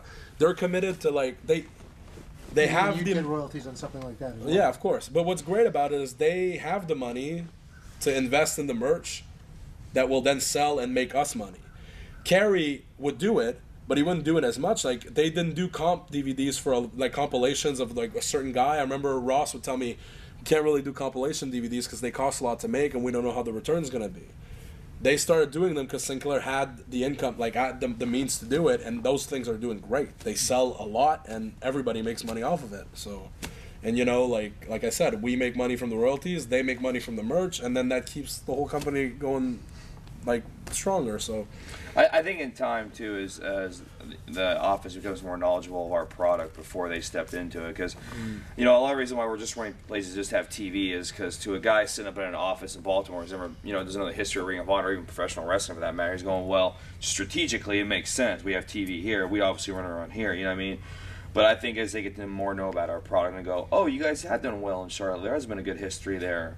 You know, I mean, let's go there. You know, so hopefully, you know, I, I think it's basically what like what we're trying to say is like it's it's it's not where it's, we want it to be, and hopefully never will be because we always want to go higher. But it's it's on the right track now. As before, we're just kind of dangling out in the middle of nowhere. You know? yeah, a lot of for a while I heard uh, the term grow, growing pains. Oh, it's growing pains. Like we'd have problems with somebody fucked up travel. Well, it's growing pains. You know, everybody's getting used to what they're doing. And I, at first, I would roll my eyes at that "Mm, growing pains. Maybe it's true because now things are running really smoothly, and it's still the same people doing the same job. So I think everybody got used to what they're doing, and I think we're growing. So that's good. And I think slowly but surely, and I hope. mm, I mean, how people who listen to this and are part of those hardcore fans that were maybe pushed away from the product by what it was the cheesy booking or the cheesy angles or the cheesy matches or the cheesy uh, stuff that or uh, yeah the eye pay per view bullshit. I hope that listening to us talk about this is going to bring them back because I think they're if they gave it another shot they'd probably be pleasantly surprised. Dave, you were kind of like Cornette's boy. Here's Do you, do you this feel? is very interesting. Do you feel like uh, you know you were really super hot there for a while, and you were carrying the company, and then Cornette comes in and turned away a lot of the hardcore fan base. Do you feel like maybe being Cornette's boy really kind of hurt you? Yeah, uh, yeah, it's not term. yeah. I, I I'm not. Uh, I I guess I've been. I literally coined that phrase, Cornette's Yeah. boy, and I know that's one of the things you really hate. Yeah, because I I mean I, I out of anyone on that roster to talk to Jim, I think I talked to him the least. Uh, But hey, let's be honest. Jim fucking loved you. Yeah. He saw you in his soup. Yeah, and that and that's and that's fine. But like the thing is, is and, and I get it, and I you know I don't even hold Jim at fault for this. It wasn't as bad at first because when Jim took over, like when Jim came in after Adam got canned, Jim wasn't the guy with all the power at first, and he had three of you to uh, to like spread his obsession over. He loved you, he loved Hero, and he loved Tyler. Then Tyler left, and then Hero left. So you became his sole, like his his trophy. You know what I mean? Yeah, yeah. Even though you didn't want to be. Yeah, uh, I, I I built me. I built me. Like you know what I mean? And, and Kevin built Kevin. No entity made us. You know we did. You know Vince McMahon didn't come and dust and dust us off and send us out there, and he made that character. I made me through my matches. He made him through his matches and character. Right. The difference between me and him is Jim tried to harness what I had made and then like put his spin on it and then put me out there and be like, this is you know produced and you know directed by Jim Cornette, whereas he got to go and just be himself. You know what I mean? And uh, and I'm not holding any grudge. It, it is what it is, and so be it. You know. Um, but uh. Yeah, that's and and that turned a, a lot of fans on me because my wrestling's never changed. You know, Yeah, it did because also people were getting sick of Jim being on every show. Like, you couldn't watch Ring of Honor so without seeing Jim Cornette two or three times. Yeah, yeah, and I, that And I totally agree. one of the times that you would see him was he would either do commentary for your match or Oh, you know that what I mean? was? Yeah, he Oh. was just he was always he was always somewhere around Davey. You know, even though like like look, Davey didn't even know. He didn't notice that Jim would do commentary on almost every single match. Yeah. Even when you wrestled, was it Tyler? Was he back back? Yes, when you wrestled Tyler, uh, I wrestled memory's Generico in the opening match. This was Toronto. Uh-huh. You wrestled Tyler, and Jim had come back by that point, and Pearce was still in control. And uh, you wrestled Tyler, and um, wait, am I wrong? I think I am wrong. Either way, I just remember that he would literally, even when he wasn't in charge, he would make a point of convincing whoever was in charge to let him do commentary on your match. So I, I don't. he, br- you know, he branded you with his name, Yeah. even though you didn't even notice it. Were you surprised like how quickly Cornette just left? I mean, it was maybe you no, saw it coming. yeah, kind of a. I, Were I, well, okay, so, uh, so we were at the um, Pittsburgh. Pittsburgh, and uh, when, when the wrestlers get banged up, because I have medical experience, I, I usually get called to go help them. So I did my match, and then I was uh, I was driving home, and I got a text that Corino had gotten hurt, and if I was in the building to come help him, you know what I mean. But I was already on the road, and I was like, no, I'm sorry. And I just remember Lethal saying, "Yeah, Jim's flipping out, Corino's hurt," and that's all I heard. Not a big deal, nothing big. And then uh, I don't read the internet, so I don't know what the heck is going on. But I get there, and I'm like, "Where's Jim?" I'm like, "Oh, Jim's gone. He's on like a permanent uh, hiatus, or he's gone and lived in the woods, or some crap. I don't know." But like, uh, and then that's that's the last I've heard of him. I saw him getting mad about the curtain being, being where people could see, and that's the last I ever saw of him. Jim would just tend to have, uh, and this is the thing. Uh, like I said, I didn't like Jim's booking, and I thought it was cheesy, but he would care. He cared about the boys. I'll say that. Like he cared about the boys' well-being, and he wanted everybody to do good. He wanted everybody to be taken care of, and he went out of his way to make that o- the office do it because sometimes the office didn't realize what they were doing. Like I said, growing pains was a term used, but I guess it was true. Like uh, I don't know, they make mistakes that are kind of normal to make if you don't know any better.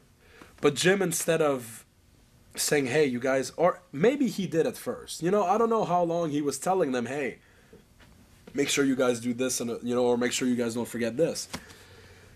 To me, it seemed like he would just lose his fucking mind immediately Boy, that's for dang and sure. get fucking. And I mean, I, he has a history of that, like for years, forever, for everywhere his work. He has a temper, and it fucking comes out like that. And it was just months and months of him losing his mind on various things, uh, mostly On on, the office about stuff that, while being annoying a little bit, I don't think required him to lose his shit the way he did. But that's the way he handled things. And then that was the straw that broke the camel's back. Is that TV taping? He got mad about a lot of things, and then uh, at the very end, Corino got hurt. The office guys had already left, and nobody was there to help. Like he just wanted office people to be there to help. You know what I mean? But they weren't. Because truthfully, even if they had been there, what could they have done? Like fucking Greg or Joe aren't gonna come strap Steve on the stretcher. It wouldn't have mattered if they were there or not. But Jim was just mad because he felt it was disrespectful that they had left or something like that. And he fucking lost his mind, like, oh, bad. He was really upset, and he, I guess, he fucking called some people and shoot out people, like, shoot out the wrong person for one time too many. But ultimately, I also think it wasn't even them firing him or sending. I don't know what if he's fired. I don't know if he's still in the company. I don't know what the details are. But ultimately, he's not there now, and I think it was as much as as much his choice as it was theirs. I think for Yeah. everybody, it was good to take a break, or who knows what's going to happen. I don't know if there's plans for him to come back. I don't know if he even wants to come back. Yeah. But And- I think uh, that's basically what happened. He's just the straw that broke the camel's back was a wrestler getting hurt, and Jim really being upset that the wrestler got hurt and he felt nobody's there to help him. So he, in a way, he was trying to do a really good thing, but I don't know. Maybe he handled it. He handled it the way he knows how to handle things, and I guess the office thought Right. he handled it wrong, and that's Which, which that being said, it's, it's probably for the best on both fronts. He's not there anymore, uh, as much as for just how our company and the, the vibe it's you know being put out amongst the boys. But for him also too. for he his was, own health. It was sometimes like you- Yeah, he would get like this color. yeah, like and instantly too. He would start yelling and fucking turn beet red, like not from yelling for ten minutes. He would turn beet red in an instant, yeah, and, he- like, fuck, this guy's gonna explode. yeah, it was literally it was literally zero to sixty to the point where I just got numb to it between like the whole. Yeah, that's it. At one Like point, every it time became I had just go oh, Japan, there he you know, goes again. Flip out, you know, everything the Iowa thing flip out, every everything flip out. You know, to events I just kind of just turned off. I know, remember uh, an EMT. They brought the EMTs out for Steve, and as they're putting him on the stretcher, Jim's losing his fucking mind, screaming at the top of his lungs about nobody in the office being there. Steve's hurt. He needs help. One of the MTs looked at me because I was next to Steve and goes, "Who the fuck is this guy?" Yeah. I'm like, "Oh, uh, well, that's our boss." He's like, he's running the show. he's like, "Keep-" and he's like, "Keep that fucking guy away from Yeah. me." I'm like, "Well, you're probably gonna have to come back to get him soon. Look at the color he is." Like, "Well, I'm gonna send my fucking partner out because I ain't coming back to deal Yeah. with this guy." like to somebody from the normal world, that was really insane. But to us, we're like, "Fuck, Yeah, Jim's it's mad the again." norm. You know. It's, Have you either of you had any communication with him since Pittsburgh? no, not at all, no, none whatsoever. No, I don't think. I actually, I think I've heard that uh, somebody from Ring of Honor tried to get in touch with him, and he didn't even bother. Which Like, is probably for the best. talk to. Yeah, he, You know? he needs to step away from wrestling. I think. Yeah, and just go and enjoy life and enjoy the accomplishments that he's had. Uh, I don't want to talk specifically about any one guy, but you know, really, Ring of Honor. We're talking about Gabe Sapolsky, Adam Pearce, uh, Hunter, and Cornette have all had a chance to be the booker here. Mm-hmm. Yeah. Can you compare them, maybe as a group, and, and rate their positives, their negatives? I think Gabe's. liked. I think Gabe's positive. The strongest positive was that. Uh, this uh, this is where maybe me and Davey will will uh, have a different opinion, not about Gabe but about wrestling. Like Davey uh, likes and what what Davey likes in wrestling is competitive matches and and very like just great matches, and of course I like that too. But I find moments are what matters in wrestling more than anything. I think moments are what will draw people to the product, and then they'll watch the matches. And some of those moments happen in matches. But uh, for example, me and Generico's storyline, I didn't think of it as matches when I came up with it. I thought of it as moments. Like how many great moments can we cap like do? And Gabe was really good at those moments, I think. And he was great at making his product like seem special. You Yeah. know what I mean? Like to hype he, and he's still good to this day. Uh, I think people have gotten used to it now because that's what Gabe does. But in Ring of Honor, you know, once in a while he'd post on the message board like, "Hey, I just, you know, we just edited the DVD of this show and I watched, I don't know, Matt Sydal against Delirious and what a special match that was. I really, really proud of those two guys and you should make sure to check it out." And people be like, "Oh, fuck, yeah, we'll check it out." And then they buy the DVD. So I think he was good at that. And I don't think any of the bookers uh, after him have had that, like Yeah. that special way of making his product seem like something special. And then uh, Adam, uh, like I told, I, I talked about Adam's strength in the past too on various interviews. Is he was willing, like I said, at first it was a little rough because uh, his whole you know less is more mentality and old school and all that shit. But then I think he let go of that and he was willing to let the boys come up with stuff mm-hmm. and he would try to make it work. And I love that about Adam. Like I, I, I said, I want to do this with Generico, Cabana, and Corino. Actually, Corino wasn't involved at the time, but Adam is the one who suggested Corino because we knew the fourth guy, and he made everything happen. He he he he made sure that everything we needed we had, and he did. He went out of his way to make it work, which was awesome. And he came up with some of the ideas too, but most of it was from us, and he had no problem with that. He didn't want to be the guy to be like, "Did you see the angle I booked?" No, he was like, "Did you see fucking how hard those guys are working?" Like he he loved it. If the product was working and things were good, and also HD Net happened with Adam, and I think Adam was amazing at uh, directed like producing the show. Like he would be on the headsets, the tapings. He managed at everyone. He would scream once in a while, but I think he was really good at it. Not as bad as Jim. Yeah, and then uh, Adam got let go for I think he was having differences with Sid. I think that was the main reason, honestly. Uh, And uh, or maybe not. I don't know. What's that off for? uh, uh, cause I'm, I'm literally the guy that shows up. I'm usually the last he- one to show He's up. and not the aware of one any to of this. I think. So this is all new information. This is all, and, and that guy. you said I mean, the- he knows- the, the Greg Gillespie guy. I have no clue who that is. I've never heard that name before. Who? I, yeah. I Or don't what, know what- who that is either. what's the name? Is that what you said? He's Did I say it right? No, you, you got his last Oh, name. Greg. Oh, yeah, Greg. Uh, I'm sorry. I've, I've, I've I See, still, I still don't know who You we're talking confirmed you about. don't know who he is, right? yeah. Yeah, I don't know who he is. Yeah, I, So, I, uh, yeah. But uh, yeah, like uh, I don't know. I, I know Adam and Sid weren't getting along, but I don't know if that's why he was let go or not. Or maybe Cary just felt it was time for somebody else. I don't know. And then Hunter came in and didn't have the chance to show what he could do because immediately almost Jim decided that he was taking over. Yeah. And then Jim booked, and uh, you know how I feel about that. I felt like as strong a charac- character as he is, and as uh, great a help he can be for uh, matches and promos, as far as angles and storylines are concerned, he's just not. It's just not what it, it. It's just not what it used to be, and I don't think he's. Not. I know he knows it. I just don't think he accepts it, which is probably why he had so many problems in TNA and so many problems in WWE.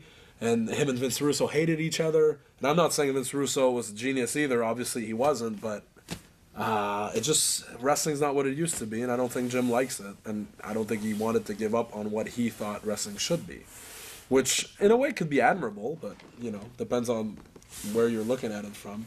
And now Hunter is uh, finally able to create his vision, and uh, I think that's going really well too. But it's kind of recent, so we'll see where it goes. too early to really pass judgment on Hunter right now.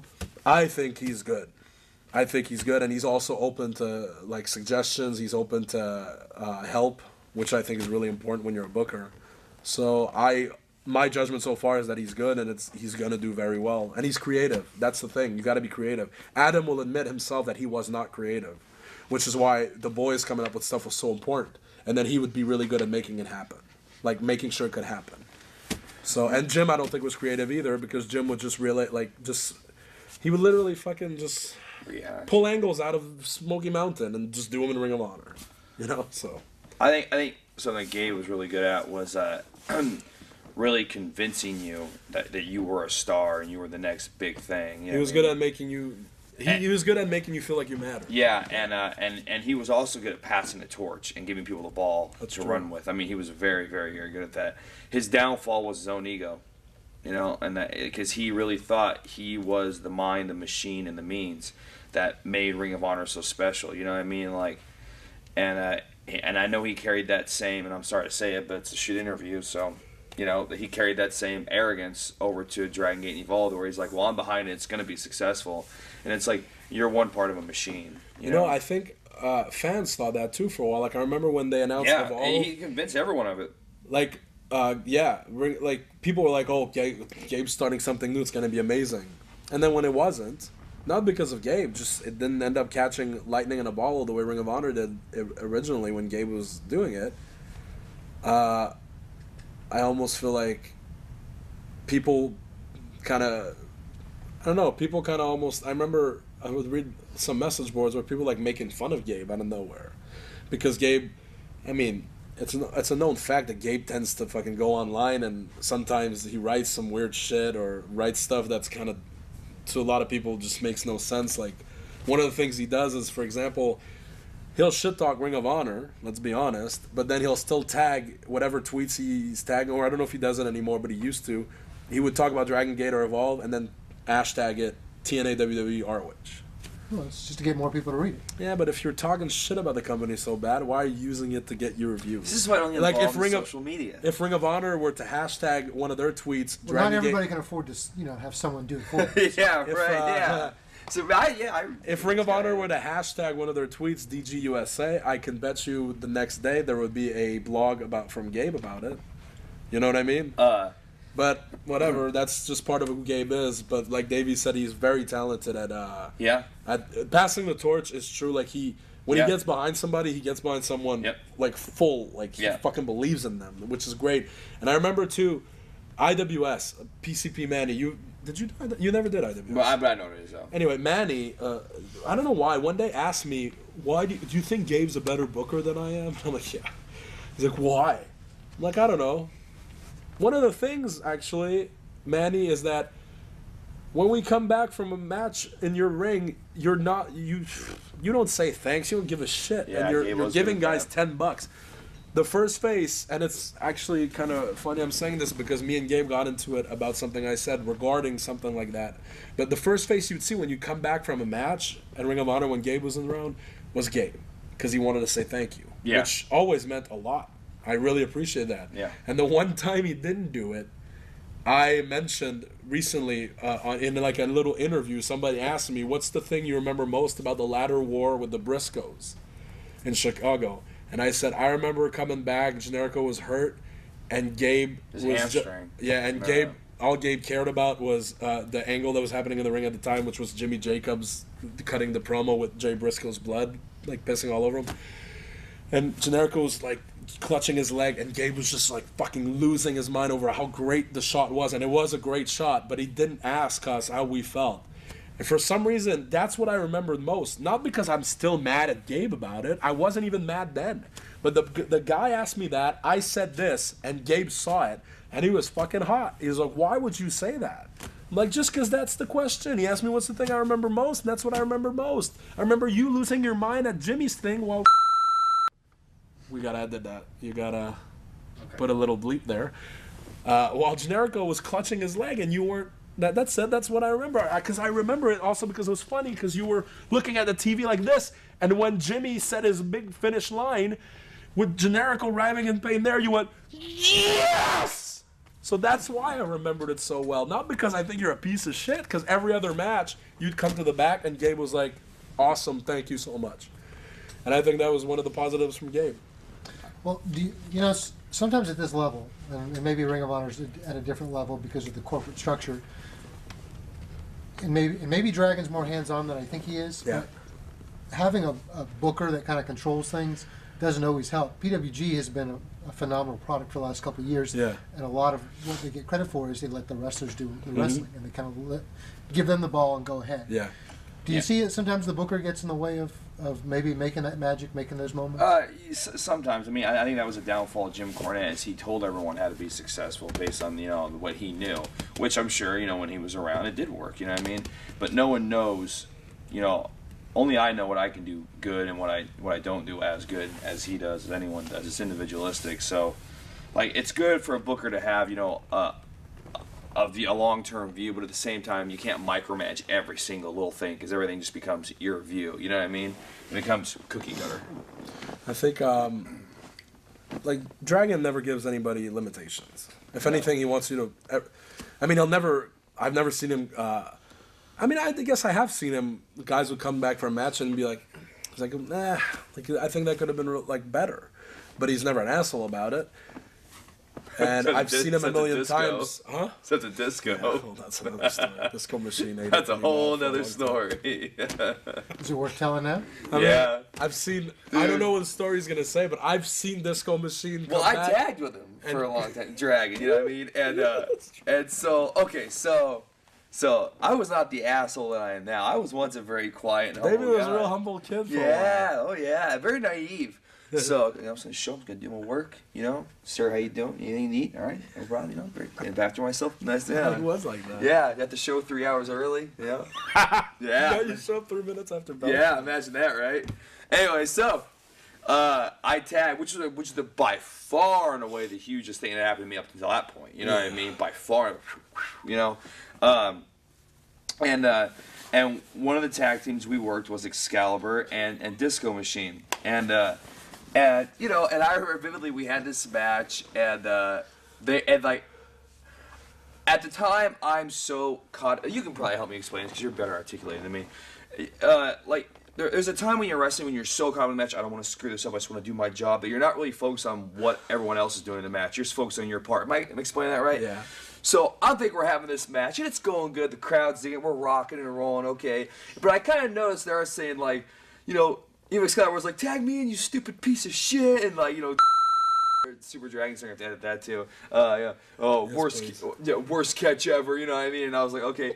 And then I get up there, and, and I come up, and I come up and back, You know, and I'm hey, okay, oh hey, good match, man. All right, cool, yeah. And I don't see Mike Disco, uh, Disco Machine. I'm like, all right, no big deal. Well, where we were, there was there was there was the locker room that you go on this big roof, and it's California, so everyone sits on the roof. You know what I mean? It's all good. And I go out there and I just get, get some air. You know, 'cause we always went like 25 minutes, and I see Mike over there, and he's crying, and I'm like, oh. Sh-. And my first thing is, oh Mike shit, is Mike's Disco there. Machine, by the way. Yeah, so you guys know. yeah. I'm sorry. And so I go over there. Oh, Mike, you all right? He's like, nobody likes me here. And I'm thinking like, nobody likes me. And I was like, no, that I thought, I thought it was good because hey, I didn't know. You know what I mean? Like, oh my God, make that guy cry and cry, and I felt terrible. And even his own partner. And then I go watch a match back on DVD, which is how long ago this was, and uh, got the whole match. Just God, you're a dumbass. You're an idiot. Right in the match. I'm just like, oh Because uh, Disco, great dude. Wonderful so human being. But in the ring, sometimes he would tend to get a little lost. But then instead of trying to settle himself and find where he's at, he would try. He would like try to make up for being lost and just make shit worse, and then would just become a huge debacle. yeah, yeah. He was And fast. uh, in that match, it happened, and Dragon, while he like while Disco's crying, Dragon goes up to him, and I see I, I saw the same thing you said. Disco's crying, sitting on a chair like this. Remember his back was at the very end. yeah, Remember yeah, it was dramatic, and because we, like you said, we were like, it was weird. The JCC was a big building, like this kind of, like this warehouse almost, but it was a community center. Then you went up the stairs where the locker room was, and then when you walked out of the door, one of the doors out of the locker room would go outside to a staircase, so you go back down to the parking lot, or you went through the other door, and it, it led to a roof because next to the community center was a daycare, so you were on the daycare's roof. Like you walked 20 feet and you could jump into like 10 feet down to a playground where the kids would play. Yeah, it was that nice. It was a California evening. Yeah, so nice. we hung out on the roof after matches to cool down. But it was really dramatic. Like you open the door and all the way at the end, sitting in a corner right at the edge of the roof, was Disco in a chair like this with and like the street lights was kind of hovering over him. So it was real It dramatic. reminded me. You remember the last scene of the Blair Witch Project when he goes down, and he finds that guy or the lady standing Yeah, in the was corner. It was something. It was kind of like that. Okay. then I see Dragon walk over. And Dragon's got the, the same walk every time, and he's just shaking his head no. And I'm like, oh man. And I see him walk. I'm Dragon's like, dude, what happened? That's crying. So I was like, no, no, no, what happened? Why are you crying? and that was it. He was just even he didn't give a shit that he was crying. He had to know Dude, why. But- Why'd you fuck that up? And it's not even the the only time he cried. I remember one time. Yeah, he would cry a lot. Something happened. He fucked up as a. I think it was him and Aries at BOLA, and he didn't catch Aries on a dive maybe, and that was a big match because Dragon would never put Disco in high profile matches. Right. But for that BOLA, he needed somebody, so he gave Disco a match with Aries, which was his biggest opponent in a long time. Yeah. So Disco was fucking psyched, and for what it's worth, I thought the match was all right, but it didn't go super well. Disco cried after, and I always remember this sight. Generico was teaming Quicksilver at the time, and Quicksilver was at the show. I don't even know if he was wrestling. He might not have been. Or this might actually have been another match where Disco was crying. I just know Quicksilver was there and Generico was there too. And as Mike is crying in the corner, uh, I'm sitting there. I'm like sitting Indian style, just doing whatever. And I look up, and Generico and Quicksilver are standing next to me. And Quicksilver's going, "Look at him, Generico. He's always crying." And Generico starts to laugh, like he's trying not to laugh. And Quicksilver's like whispering in his ear, "No, no, look at him." Everybody hates wrestling him all the time. And Generico's like trying not to fucking laugh out loud as Mike is crying there. And Quicks he's trying to pull away. Quicksilver's holding him by the arm like, no, look, look at him. He's crying still. He's a grown man. And Generico's dying. And then I'm laughing because Dude. it's just craziness. He would always be always the one that. Remember, we'd always go out to IHOP afterwards, Mm-hmm. and then he would always take me to the airport. And like you know, most of the time he'd be like, "Yo, yeah, man, okay, you come back, yeah, I'm coming back next month, man." And there was something. and, there, and after that time, drag went off. He goes, "You know, man, if I'd have to like run the lights and do everything, I just don't have time for these matches, and I just can't keep doing this." I'm thinking like.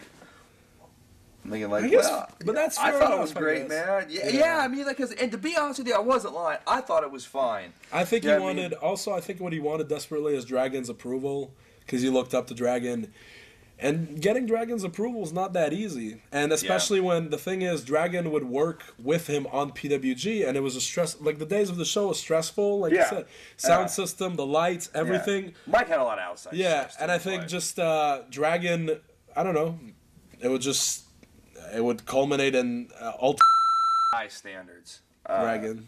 Oh, I'm sorry. Jeez, I'm sorry. okay.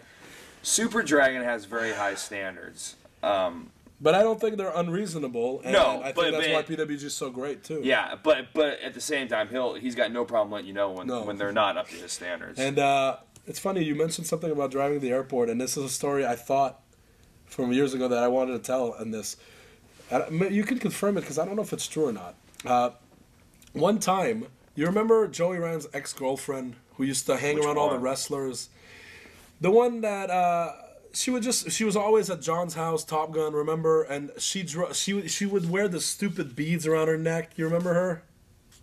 Anyway, this is a story I heard. Uh, she was driving you to the airport one day, one morning, and you were just sitting there not talking because why would you talk to her?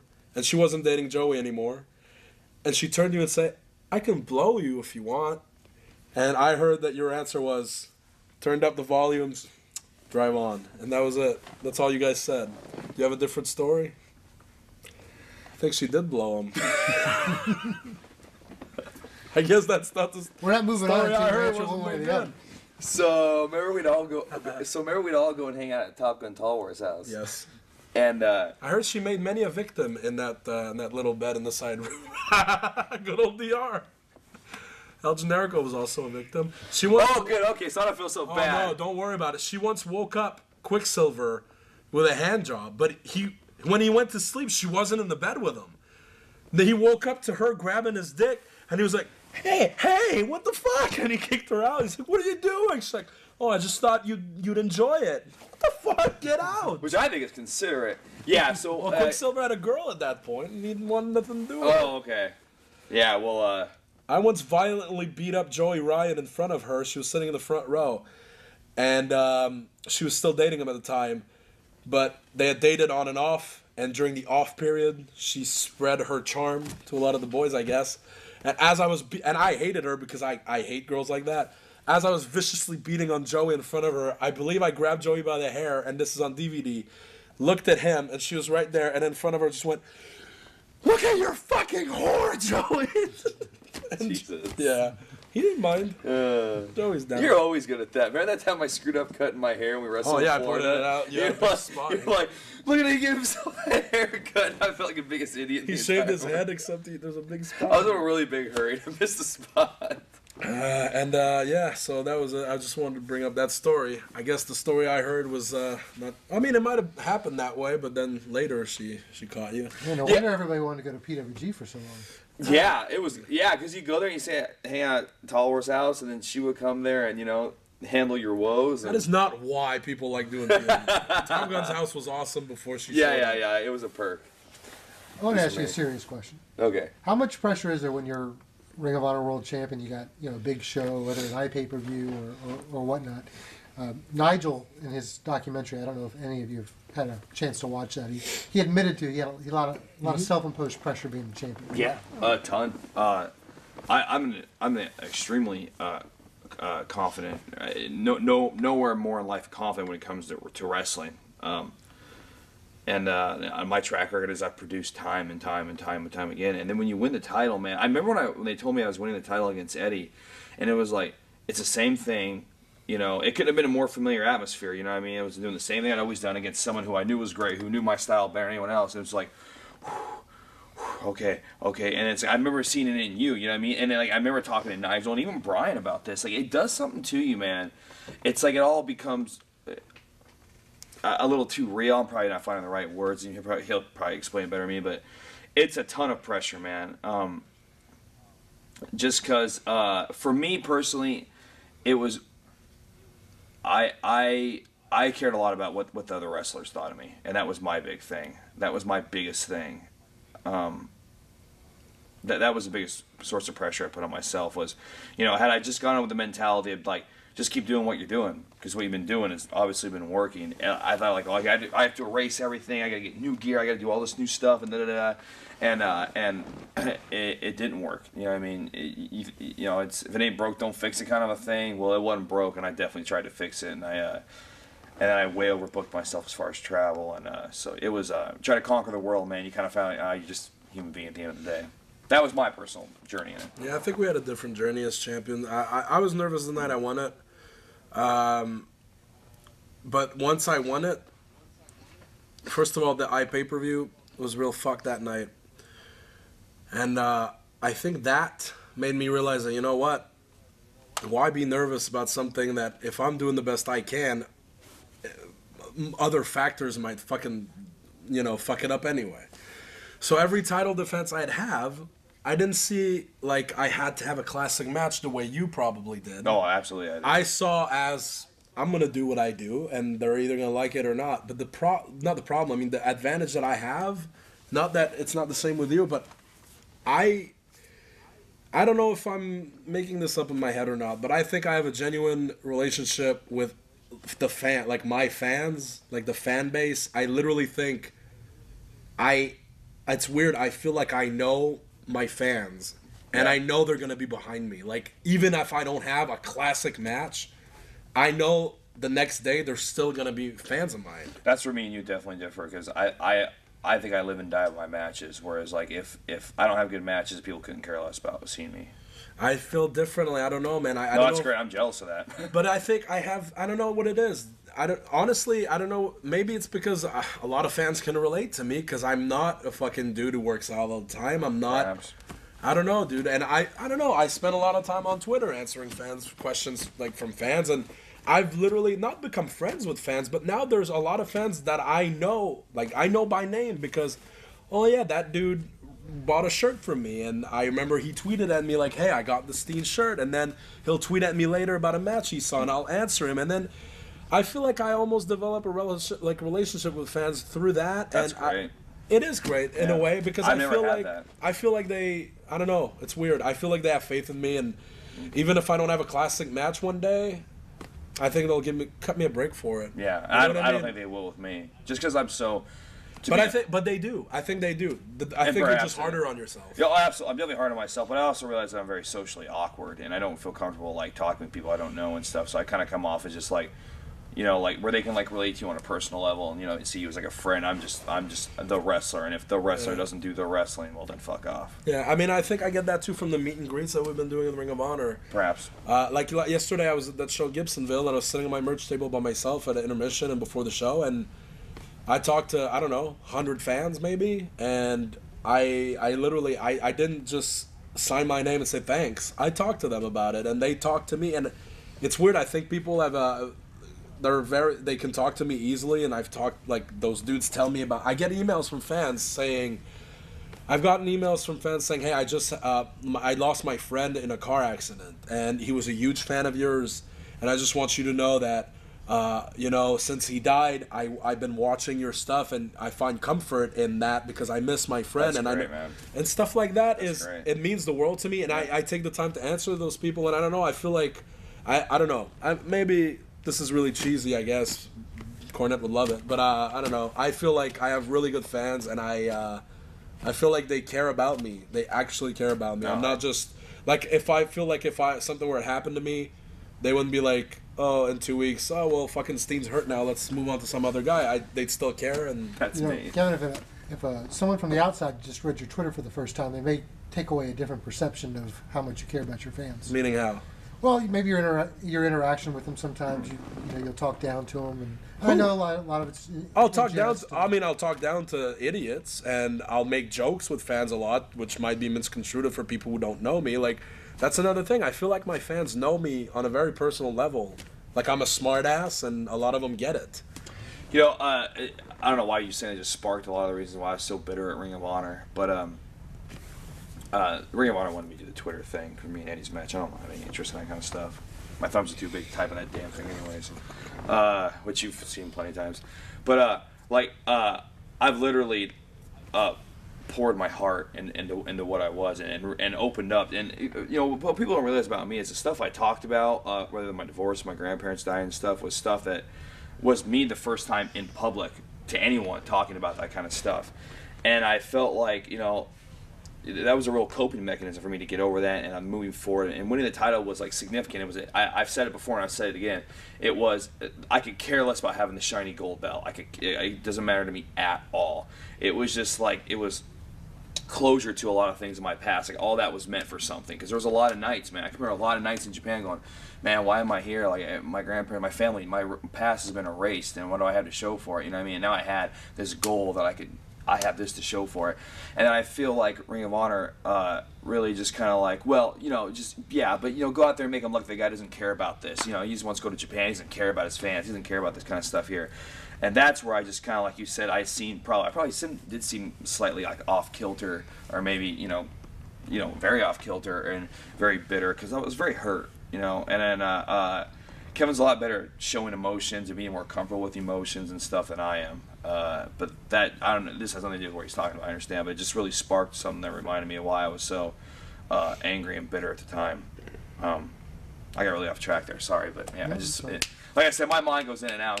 you, gotta, you gotta catch it when it's on. Have you guys watched the Nigel? I have. I watched it with him actually.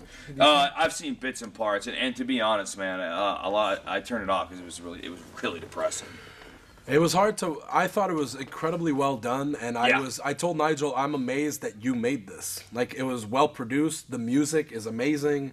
The uh, it's like a movie, but one part in it where he gets really mad, and he's in his car. He gets really mad and kind of loses it, and he cries a little, and he's just he's angry, and he vents about what happened to him.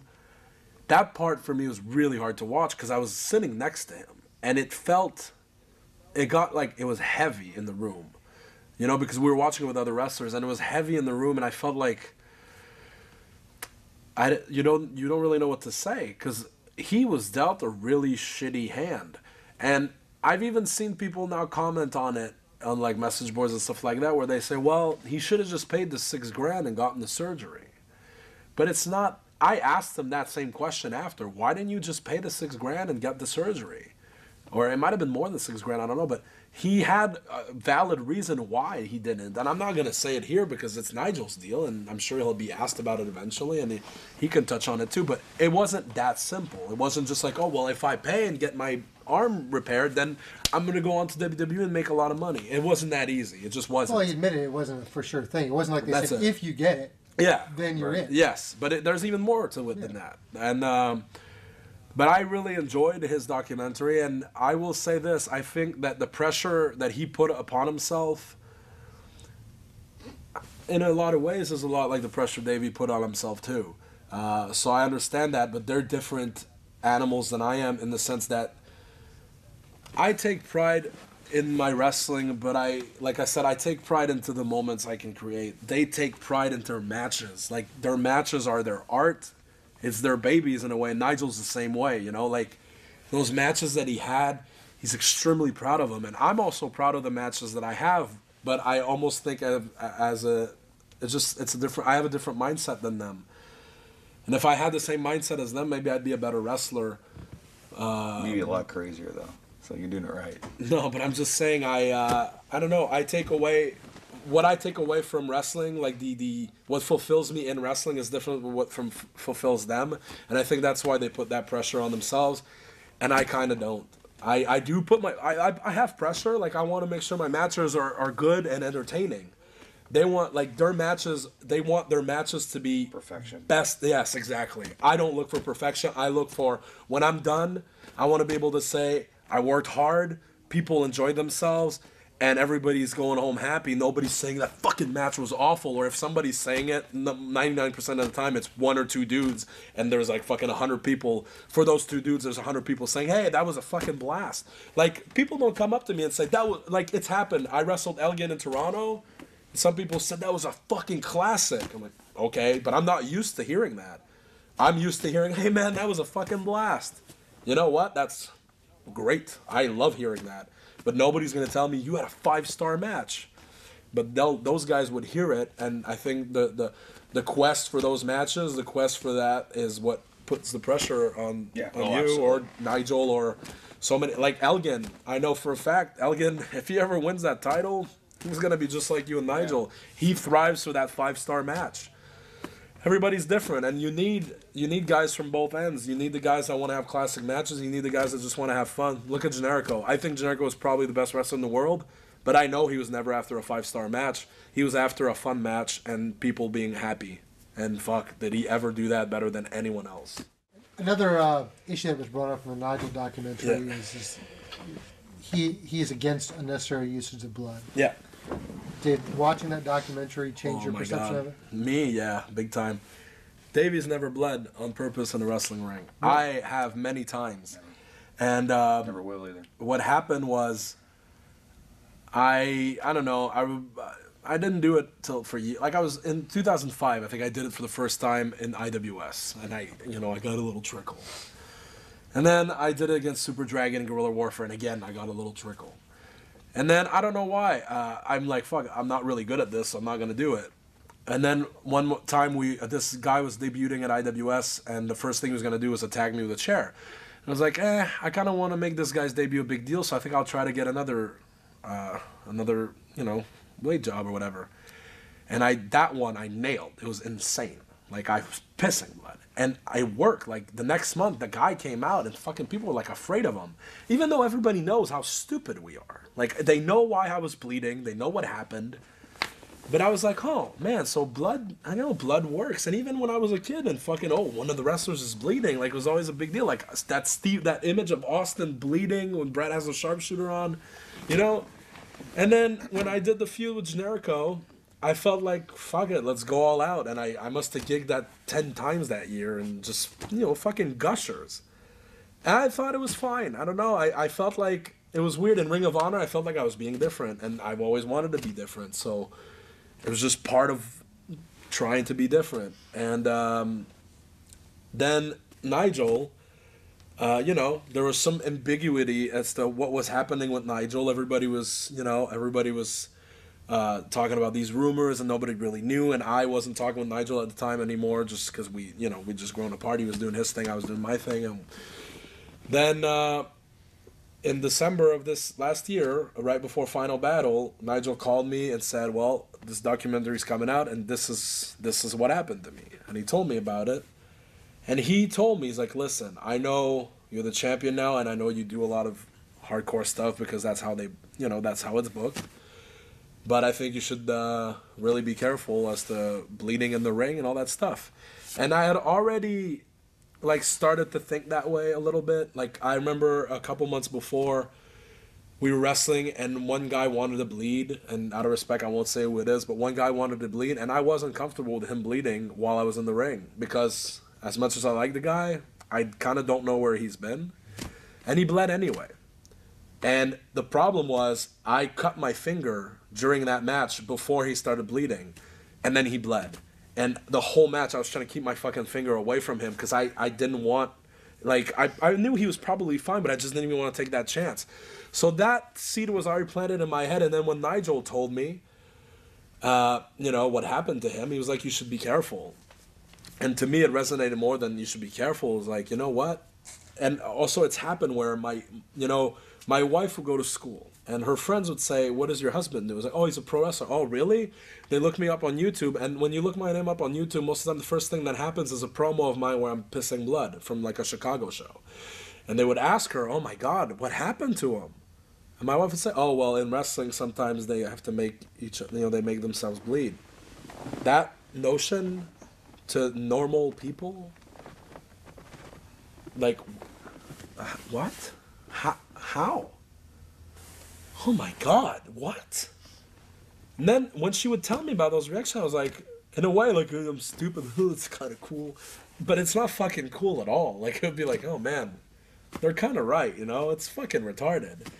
And then uh, some other guys like Davey had that notion right away. They were, you know, I'm just So surprised good. that you never did because we've seen a lot of the DVD covers where I guess you, you did bleed somewhere during the match and Yeah, I mean, I've been cracked a million times. yeah, that's it. I mean, he uh, eats head butts and kicks to the face. Yeah, I got a hard head. Yeah, uh, Yeah, no, I've bled plenty of times, uh, but like I've always been, and this is completely in for better or for worse. Uh, my personal philosophy is like, if I'm gonna bleed, I'd rather I'd rather get from a real thing than like I I'm very I'm. It's weird, man, but like you know, I stick I get paid to stick needles in people, but for me to cut myself is like not gonna happen at all. And uh, but yeah, I bled plenty of times by getting head butted uh, or, or just whatever you know what happens in the you know that, happens in the going on to the ring and everything. But uh, yeah, as far as me cutting myself, never. I, I would I wouldn't even know how to make a blade. I wouldn't know how to. I would not do none of that. None of it. Yeah, so that's what happened. I mean, that reaction, she would tell me about it, and she wasn't super comfortable with it either, my wife, you know, but whatever, she let me do it. And then I remember one thing that Nigel said is specific. I, I was already on board with not doing it anymore. But then uh, I don't know how it happened, but in that feud in 2010 with Generico, and I worked with Cabana, I would do this spot. I did it twice with Cabana where it was just literally to shock people, which is you know Davey said I would do, and it's true. I he would get color and I'd fucking lick his blood off his forehead because it was cold. I didn't mind. I didn't care because it's cold. And Nigel said, "Well, would you have felt comfortable doing that with me?" I'm like, "Yeah, probably, because you're my friend." It's like, "Yeah, well, if you had done that with me at a certain time, now you'd be sick, or you would have gone sick." Yeah. And I was like, holy shit, you know, like that's fucking true. And that's what made it for me now that I, I'm never going to do that again. And I, or actually, I can't say that. Maybe I will. But if I do, I will choose where I do it a lot wiser and I'll be a lot smarter about it. But also, there's there's another reason why I don't want to do it anymore is because it's fucking stupid. Everybody knows what you're doing. There's always that second from the impact to when the blood comes where everyone knows what's happening and it's stupid. Everybody literally just goes, We're just gonna pretend that didn't happen and that the other thing is why you're bleeding. And then I realized it's dumb, it's fucking dangerous, it's kind of crazy the people that live a normal life. So why do it? And then I want to support Nigel and what he's trying to do because I believe in it. So uh, I, before final battle, at Nigel's suggestion, Generico and I both went to get tested to make sure we didn't have uh, hepatitis or anything like that. And in a way, I was happy to do it because I was kind of worried that maybe that dude's blood from months ago, you know. And I was, I'm happy to report I am a clean, healthy person. So there you go. But you know, and I did that because Nigel suggested it, and that's what he's trying to do. He's trying to create awareness for guys to one stop doing that, and two, like Davey said, blood will happen sometimes because it happens. Yeah. So he, guys should be more safe about it. Yeah. Get vaccinated, get Absolutely. tested, Yeah. stuff like that. And I think Nigel's uh, doing a really good thing. And I hope guys uh, like I. I'm again. I don't want to speak for Nigel because I'm sure he's gonna do something like this eventually. If it's not with Highspots, it's gonna be with somebody else or an interview or something like that. There, there is nobody else, but go ahead. You know what I mean? It's a one-stop shop here, Wink. Kevin. No, but I meant like interviews online or so whatever. He did an interview with Meltzer. If he's ever going to do another one, I don't want to tell his story for him. But I remember a couple weeks ago he told me that he went to a show where somebody like he's friends with a promoter, and the promoter told him like come to the show, and then I want you to show your documentary to my wrestlers. Yeah. But on that show, and I guess he was going to show the documentary the next day. On that show, there was a big blow off to a feud, and both the wrestlers got color. And I was like, "Why'd you bring me here? It's Yeah. completely against what I'm trying to do." He he's definitely trying to to um, raise just the, the just the status quo of wrestling, which needs to be done. I mean, we're living in a day and age where like yeah, yeah guys are getting you know uh, incurable diseases from from wrestling, and, and everyone's doing the gigging. You know what I mean? From the backyard to the big stadiums, and we're having people getting beat up in matches. Now they're suing other people, or calling the cops on people. it's getting out of hand. And basically, the, the premise that I've talked to Nigel about is wrestling needs some regulating body. You know what I mean? I think every wrestler should have to be licensed. You know, in every state, just because um, the, the it, it's professionalism. You know, that's really what it is. You know what I mean? If you're good at what you do and you've honed your craft, you know what I mean? Then then you shouldn't need to do things like that. And then, uh, or at the very least, when you do do it, it should be such a rare occurrence. Like, wow, man, wow. Whereas now it's like, hey, you see that he did, he did the thing. I remember, yeah. That's a that's what's you know so what I mean? And that's too. and that's you know and that's what we're coming to. You know, because people got no business being in the ring. Uh, um, are are just you know seeing this and and they can figure it out and they go out and they do it. You know what I mean? And when someone gets hurt, it's like, well, well, you, I didn't know this actually took skill or like this, you know, I have to be trained to do this. Like, well, yeah, yeah. I remember it's kind of vaguely on the topic actually, but I remember uh, one time years ago a fan sent me a tweet saying, "Hey, look at this! I did this for you." Like, okay. Oh Christ. Click the link. It's the video is just it's a couch. It's black and white and it's just a couch and my music, my theme music starts. And then this guy appears, shirtless. Sits down on the couch. Pantsless. My song's playing and he fuck I see him go do this. Oh man. starts bleeding. Hell so on. my theme music. And that's the video. The rest of the video is him staring, bleeding, and at the bottom is like, kill Steen, kill, blah, blah, blah. And I was like, whoa, my God, what is this fucking nut? And then that's it. Like, I turned off the video and I didn't even think about it twice. I was like, well, this guy's an idiot. But then later on, all that shit came back, and I remember this video, and I was like, well, you know, he did this because he knows that's what wrestlers do. And you know that goes with what Davey's saying. It's just it's leading. It's it's a wrong example to give for one thing, and two, fucking some people just don't know what they're doing and act insane, and a lot of them end up wrestling for some reason. So you know Yeah, who knows? Maybe that guy's in fucking wrestling now, doing this all over the place, and God knows what he's got. And just stuff like that. So yeah, man, Nigel's thing, the documentary to go back to the actual documentary is pretty hard to watch, and it's it's sad what happened to him. But now I feel like But he's vital. good- What's that? But vital to wrestling, I think. Yeah, but I mean also the problem with his arm and not getting his contract. yeah, yeah, it's very yeah, upsetting in a way, but it's also great because uh, I think now he's in a good place and he's, he's ha- he, he's made his peace with it, and that's comforting. Yeah. Because if I knew he was still struggling with it, I I wouldn't have enjoyed the DVD. You know what I mean? Right. I have that knowledge that now he's in a good place, so now I can enjoy his his his his work, which the documentary is. He put so much time in. Obviously. So I think a lot of people should try to go out of there and watch it. Yeah, absolutely.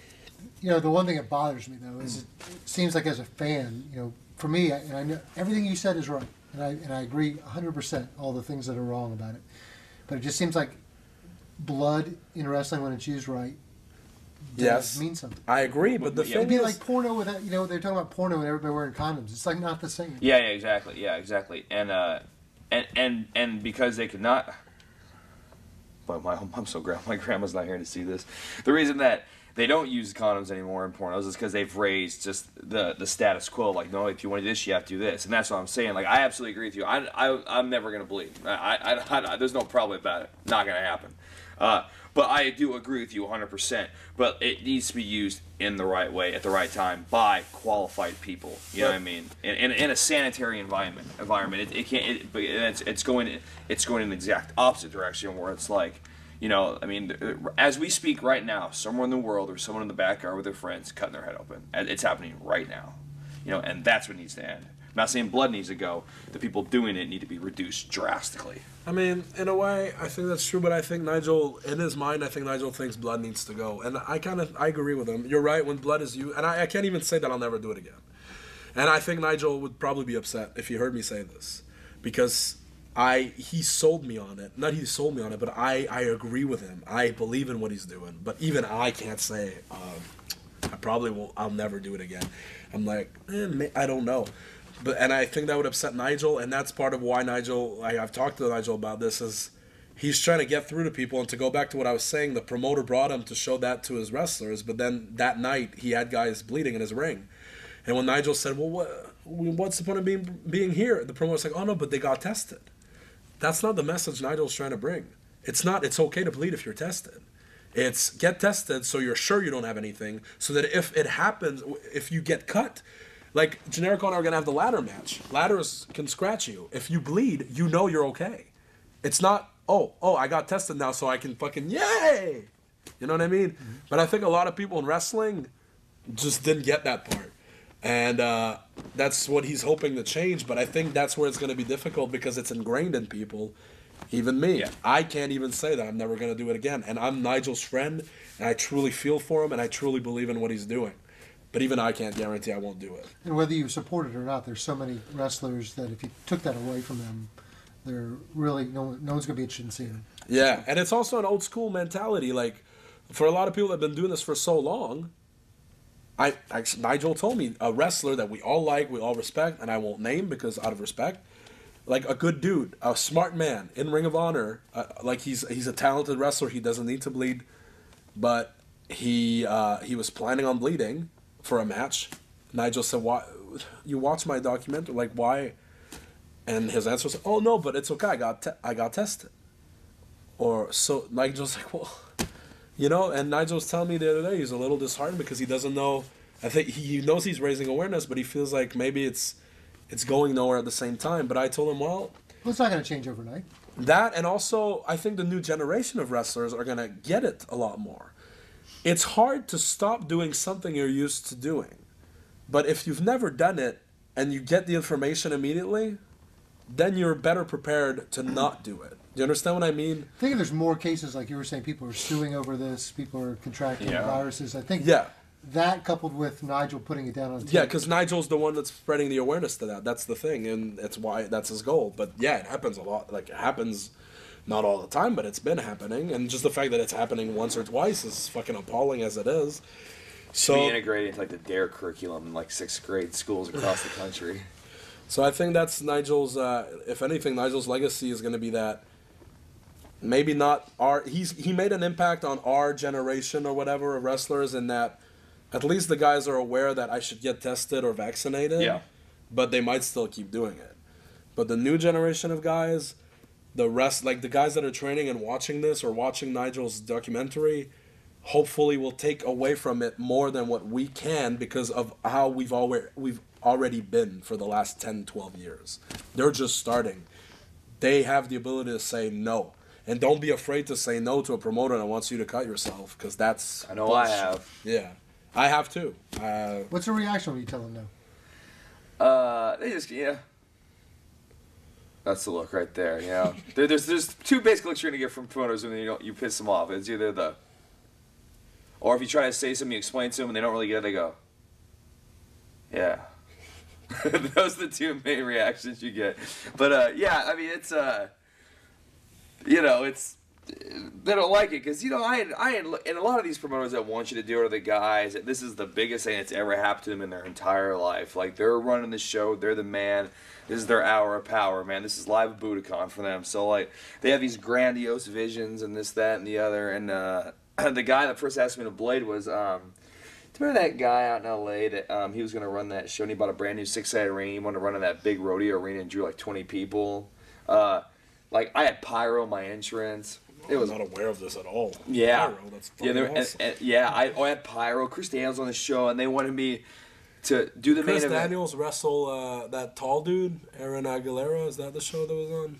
You know what? It may have been actually. It may have been. And the it's the last thing that happened. They wanted me to blade, and then get beat up and thrown in the back of a Cadillac and get drove off. So I was like, well, uh, I, I, I'm- I, I have hemophilia. I can't do it. He was like, he was just, he was destroyed. And then his show, he literally like drew like 20 people, and he was just crushed. You know what I mean? And uh, I drew 20 people. it was out in L.A. Davey won't even bleed for me. Yeah, no way, man. You know, and we're in a rodeo arena. You know, what I mean, they put the tarps down. You know, they go, like, oh, there's some cow shit. That's beautiful. You know, or you know, bulls or anything. No, I ain't doing this. Man. Sorry, brother, man.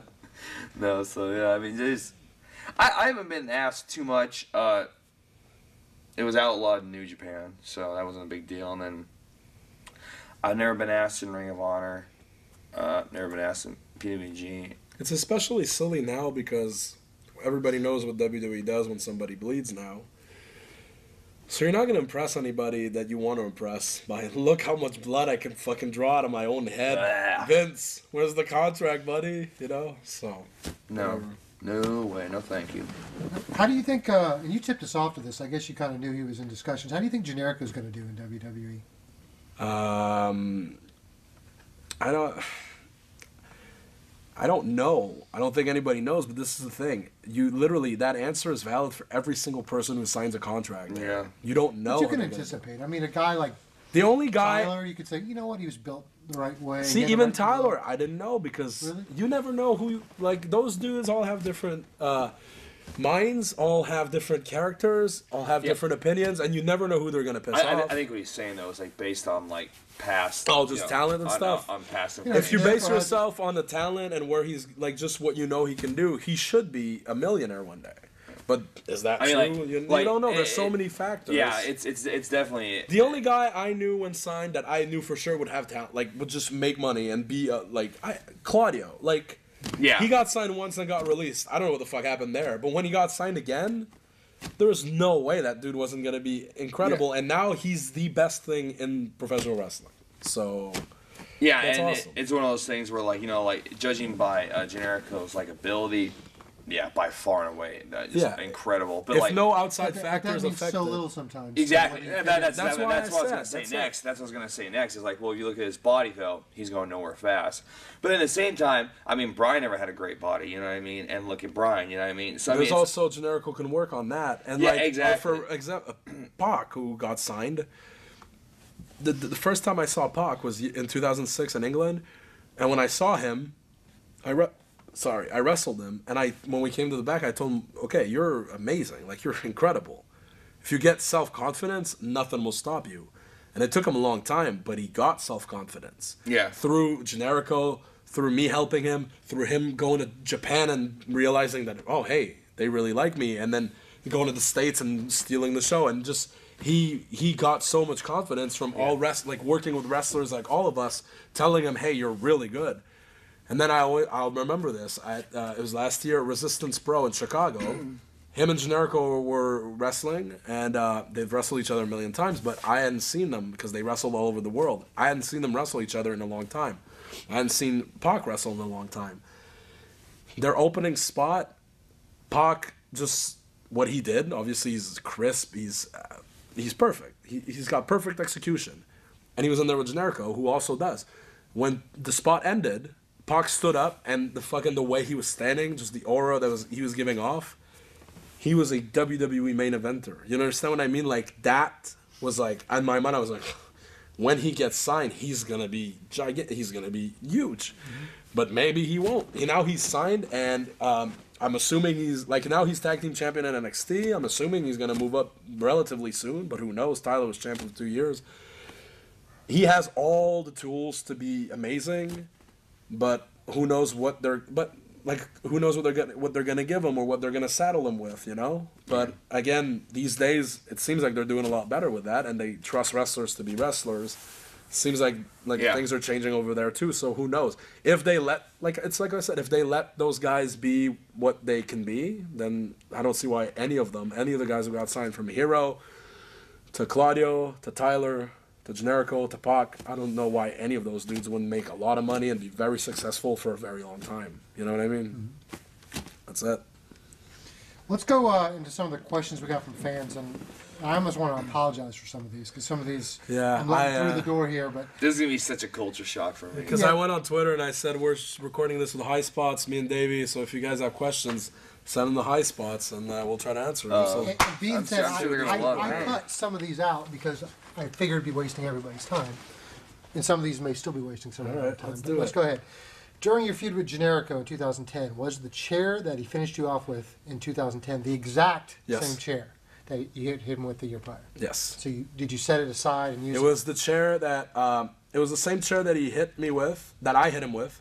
It was the same chair that I uh, like. I I had the shirt with his head ripped off. Like they made a shirt of uh, it's it was his head, his mask, and it, his head is in the mask. Basically, like I ripped off his head and I put it on a chair.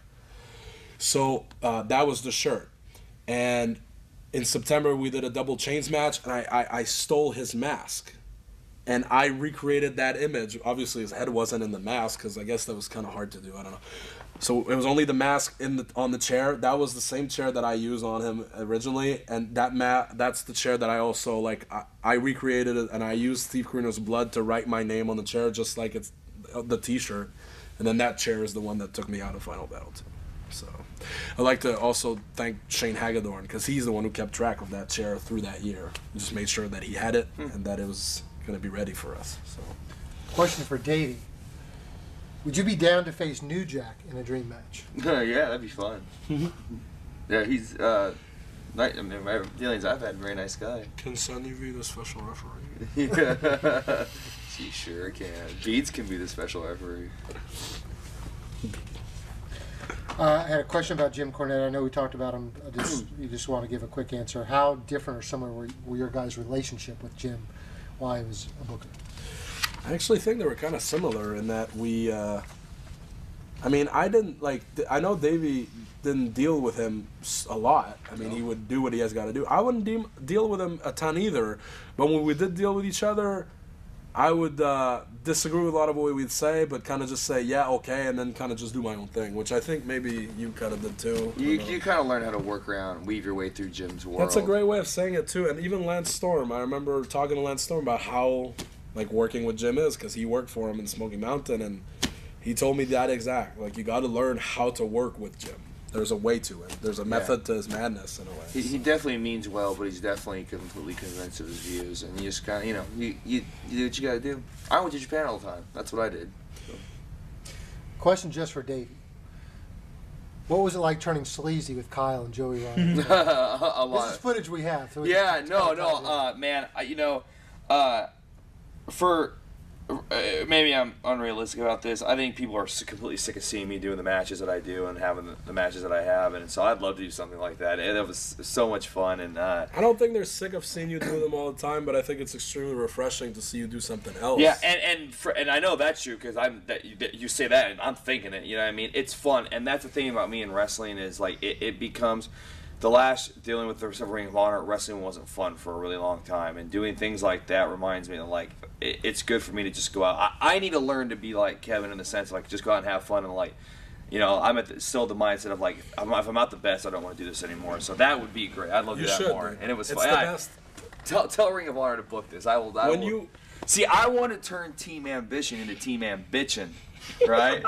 that was my idea. But, it, but yeah, yes, and it would have been sweet. And I can just hump everything in the ring, which I do. And when you have fun, dude, people see you have fun. And yeah, yeah, don't and, and like focus. that's good for me because I'm a ball of stress. So I would love to. So I, I hope to do it again. My favorite Davey Richards spot throughout the years that I've seen, I've seen countless of his matches, incredible matches against Bryan Danielson, Kenta, uh, just so many classics. Favorite spot, I forget on who.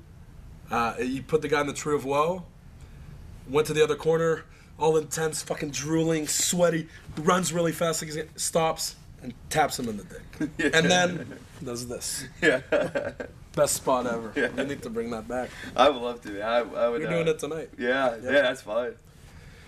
Which wrestler currently performing in the Indies do you think deserves a shot in Ring of Honor?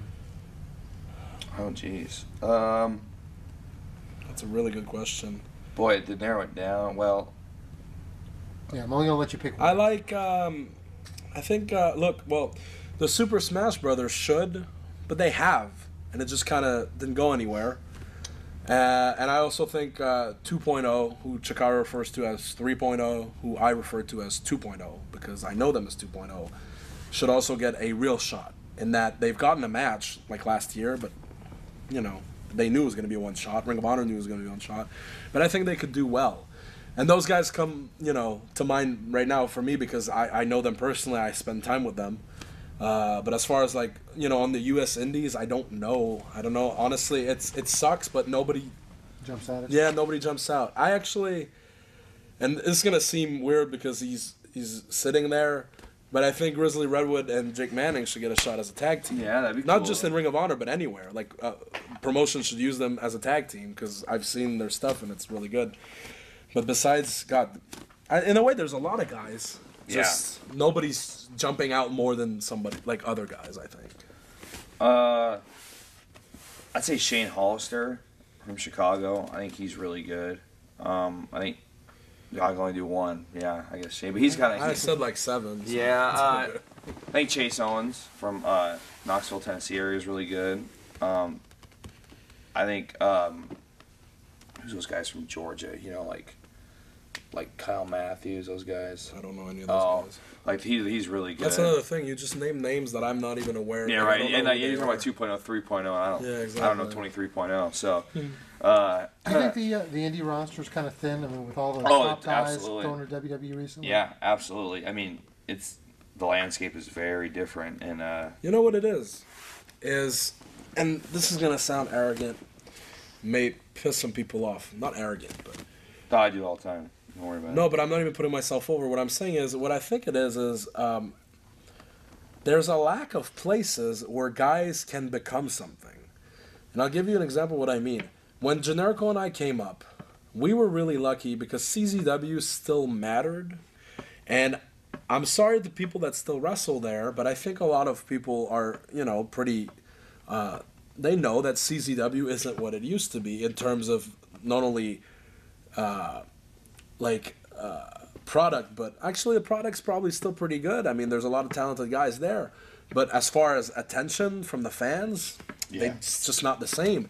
But when Generico and I started, CZW was still kind of hot. Like people still went out of their way to watch it, and they still had good crowds. And then Jersey All Pro, Yeah. which I don't think was ever huge, but you know we went to wrestle there, and there, there was like a thousand people there, and you know, and people would talk about those shows, and people would talk about the guys on the shows, and that's what helped us a lot.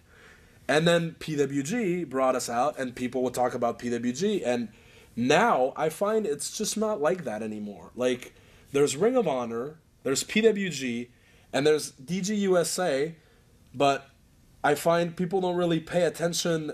Again, I apologize, and God, I may get an email or two about this, but I don't think people pay attention to DGUSA as much as they do Ring of Honor or, or PWG, but I feel like now there's a whole bunch of DG USA guys that are booked on PWG for the next All Star weekend, and I think once they rock it there, they would automatically be a bigger deal. And then when they wrestle at DG USA, people are gonna pay more attention because those guys rocked it in PWG. Yeah, and the reason and the reason is because this this indie contract thing is absolutely ridiculous. Oh, I'm glad you brought it up. Yeah, know, because it, it's it's like you know, like like you're we're on, we're on the independents to get. I mean, I guess uh, depending on how you look at Ring of Honor, I'm not the independents anymore, but whatever. But It's still an indie because we get to work wherever. yeah, well, I'm just saying just because of the contracts, all I'm saying that. But like, but like something like DG USA and like Evolve having contracts is the absolute stupidest thing I've ever heard of in my entire life because all you're doing is, all you're doing is Gabe can go can go to sleep a little bit easier at night knowing that his talents are gonna work elsewhere. But for these guys, They do that- work elsewhere. They just don't work in Ring of Honor. Let's be honest; those are the points of those contracts. Uh, for Ring of Honor, Well, I know a point of that, but the like thing for is- Dragon Gate, the point is you like he even lets guys if they want they they'll, he'll give them a release to go to WWE, but he's not going to give them a release to go work for Ring of Honor because he doesn't want this guys Or to work for Ring of Honor. Yeah. I don't know about TNA if he. You can't get a release. Okay, TNA. But and Ring of Honor is different. You got a contract Ring of Honor, you can't go to WWE or TNA because we're on TV. We're, we're putting TV time in you, so that's another story. Yeah, I know, but I'm speaking to the guys on the indies, like you know, and like all these shows. And let's be honest, every show now wants to do an eye pay per view. Yeah. It, it just it, it deregulates these guys from being able to do this. You know what I mean? And that's how you like you get that hype. I mean, imagine if these guys could do, all, and, and these guys will go and they're hungry. They're going to perform every show they go to, but now they can't because they to do this one show. What happens if I'm not a fan of that show?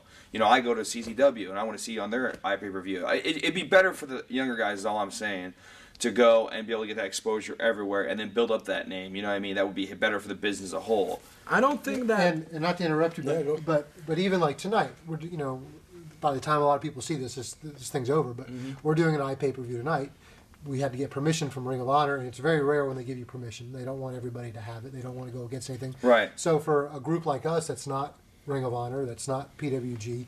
We bring in guys like you to to give the rub. Mm-hmm. And if you can't do that through eye pay per view, it's kind of hard for any of these other groups to get Yeah, that's traction. true. and that's just and that's just and that's just a, seriously a case of like the business uh, evolving and and maybe men, people's like mentality not catching up just yet. You know what I mean? Like there's got to be some kind of common ground where it's like you can use these guys. You know I mean? I understand Ring of Honor is like we have to protect our investment, and you should want to see these guys on our TV and our IP reviews. I get that, but I'm just saying like for like. But we're also owned by a national conglomerate, you know what I mean? Whereas like CZW, they, they're the very definition of an indie, DG USA indie, you know, evolve indie, you know what I mean? I mean, like you said, who the question is who should get a shot in Ring of Honor that you asked earlier. I think AR Fox, Ricochet, Johnny Gargano, and all those dudes, so many of them should be working in Ring of Honor. Yeah, absolutely. But they won't be able to because they they they have contracts with Dragon Gate USA, which the contract is there. I don't think those contracts keep them from working any other i pay per view except Ring of Honor. So But which I mean, which there's a lot of guys. them, though. I mean, it is, but that's they make their But your choice. Yeah, contracts yeah. are even worse. You ta- you guys technically can't work eye pay per view. technically yes. However, like you said, we could get permission if if they want to, and also But you don't think if like uh, somebody who wanted to bring you in was they consider them a threat, you think they'd let you appear on the show? Of course not. Probably not, but the difference is Ring of Honor pays me way more than any of those dudes are getting paid to do that, like those shows. So there's an incentive there. You know mm-hmm. what I mean? I still think it would be great if anybody could just work wherever they want and have fun and make as much money as they can because nobody is paying us enough to make a, a great living. But that's just not the reality of it. And like you say, they're dumb. It's true. I guess indie wrestling contracts are dumb, but I also understand the concept. I understand it. I think just for, for the smaller indies, it plays much more in the promoter's favor than it does into the wrestler's favor. And, They I all mean, the, all the contracts do. Yeah, sure. but but but that's why you know that has an, a negative effect on the business as a whole because you're losing these wrestlers having less viability, become the next big thing, the next the new hype thing, the new guy. You know what I mean? yeah, but Like, at the same time, it's a good. I mean, look at PWG. They benefit from that because uh, All Star Weekend's gonna have dudes from Ring of Honor wrestling dudes from that people associate with DGUSA, and those Right. matches would not be able to happen anywhere Yeah. else because if they, let's say, a PWX wanted to do one of those matches, uh, well, maybe Ring of Honor would be like, well, no, you can't, you can't Yeah. do that. Yeah, so so maybe the answer is partly the contracts, but partly maybe all these promotions should be running IP reviews as well. So maybe PWG doesn't run IP per views. Yeah, so maybe the answer is whoever they somewhere in the want. PWG's just the best. Fuck, it's so. I haven't been there in so long. I know you need to come back. But Anyway. PWG has a, a, a different situation than most. They've built up an audience and Built they up can survive based Yes. on a live audience, and that's, you know, unfortunately, I mean, most groups can't. We can't. Yeah, That's true. Very That's true. Very true. All right, which iconic wrestler have each of you dreamt of facing? And I think you've answered this question before. I mean, uh, I, Shawn Michaels because uh, I think he's the best wrestler ever. So who wouldn't want to wrestle Shawn Michaels? It'd be a thrill. But you know, there's like the thing is this question's so vague. Like, who wouldn't want to wrestle The Rock? Who wouldn't want to wrestle Steve Austin? Who wouldn't want to wrestle The Undertaker? Who wouldn't want to wrestle fucking Tony Kozina? You know? no, seriously, everybody wants to wrestle those dudes. So I don't know. Especially like- Tony, except for all the thirteen-year-old. I guess I, I guess if the question is, uh, I don't know, man. Like I think it'd be crazy to wrestle Bruiser Brody in his prime. You know what I mean? Mm-hmm. Just because it'd be like, oh my god, what's gonna happen to me? So I think that's a more valid question than which iconic wrestler. All of them. I'd love to wrestle Hogan, even if he's seventy-seven years old. I wanted it last year. Almost wrestled Kevin Nash, which who to me is an iconic wrestler. And that match would have fucking been terrible. But how? God, it would have been so so much fun.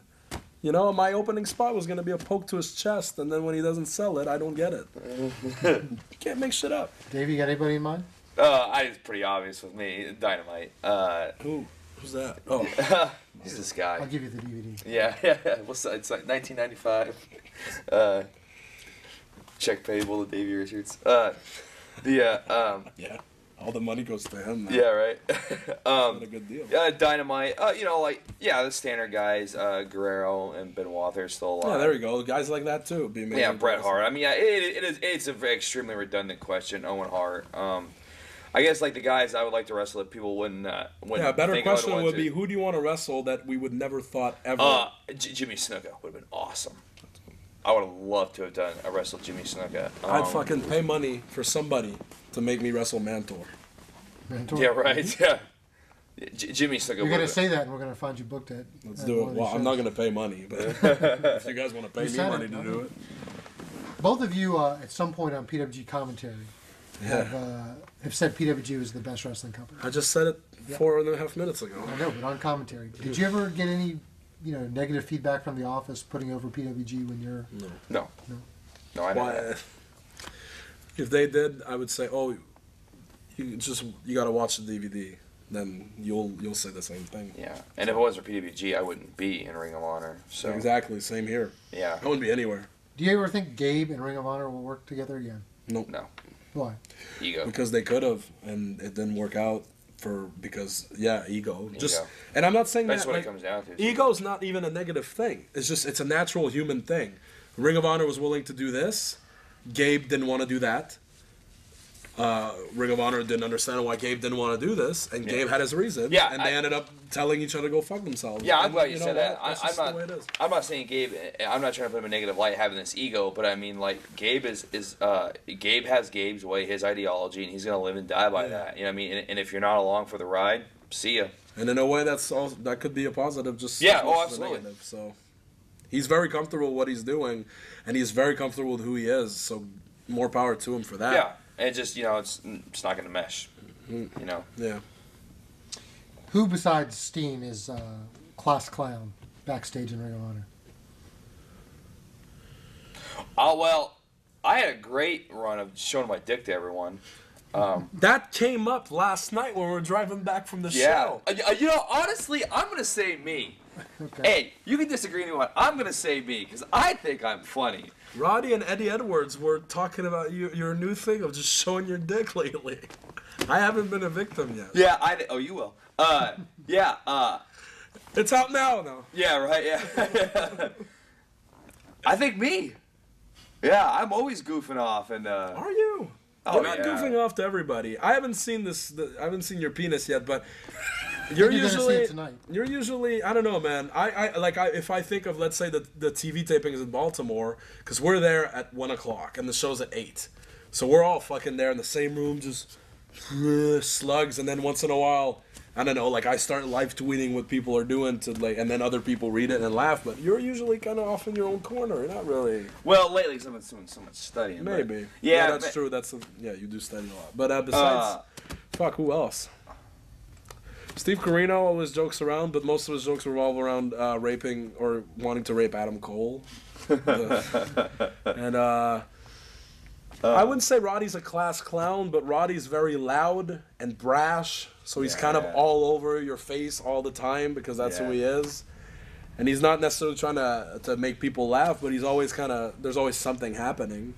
And also uh, Nigel McGuinness recently put on a little. Uh, Oh you know, yeah, he brought a guy to yeah, wrestlers yeah, yeah, court, and you know the whole point was to just entertain the guys during the Yeah, afternoon. yeah, and yeah stuff like Nigel. that, yeah, so- you're right. I'd say Nigel. And he does magic tricks to entertain us, which is always very appreciated. Yeah.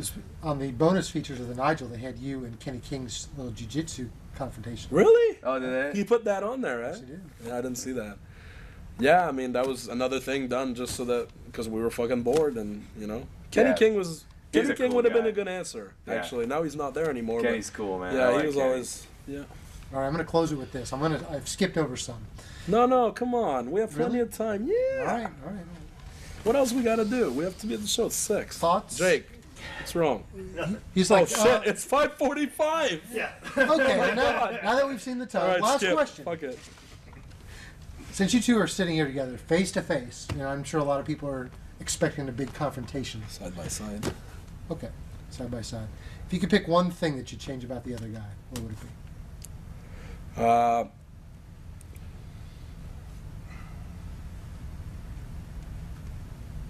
I wish that you wouldn't miss so many shows that you're supposed to do. Because then, for some reason, and I won't say this because of this, people ask me why you're not there. Like one time, and it's not, it's not, through, it's through no fault of yours, but like your flight got delayed once, and then remember you couldn't make that show in Toronto, and they kept trying to call you, but I guess your phone was off. So for some reason, they felt like they could act, like they called me. Oh yeah. Why is Davey not here? I don't fucking know. Yeah, right. And then, or I'll get emails like that's happened where hey, uh, Davey, could- they, Davey didn't make it to our show, and I literally, I didn't tell you. I don't, I don't tell you this because what it wouldn't matter, but Right, like, right. I never have a fucking answer. Right, But I mean, it's not something personal. It's just like, right. or if anything, the more accurate way of putting it was, I wish that people wouldn't associate me to your travel woes. I don't know why they do. Just don't fucking ask me. To that don't know. guy, don't buy me a flight with a 30 minute connection time. There you go. Um, Growing pains. yeah, right. Growing pains. Um, you already know what I'm gonna say. 'cause I've been saying it. I wish you'd take better I care gotta, of yourself. I gotta hit the gym. Yeah. No, actually, I, I I eat better. Yeah, dude, because I work. You know, I love I you, mean, we've and, been you know, through your this family. and I met your family, and I want you. Uh, yeah, and that's what I want, and uh, I want you to.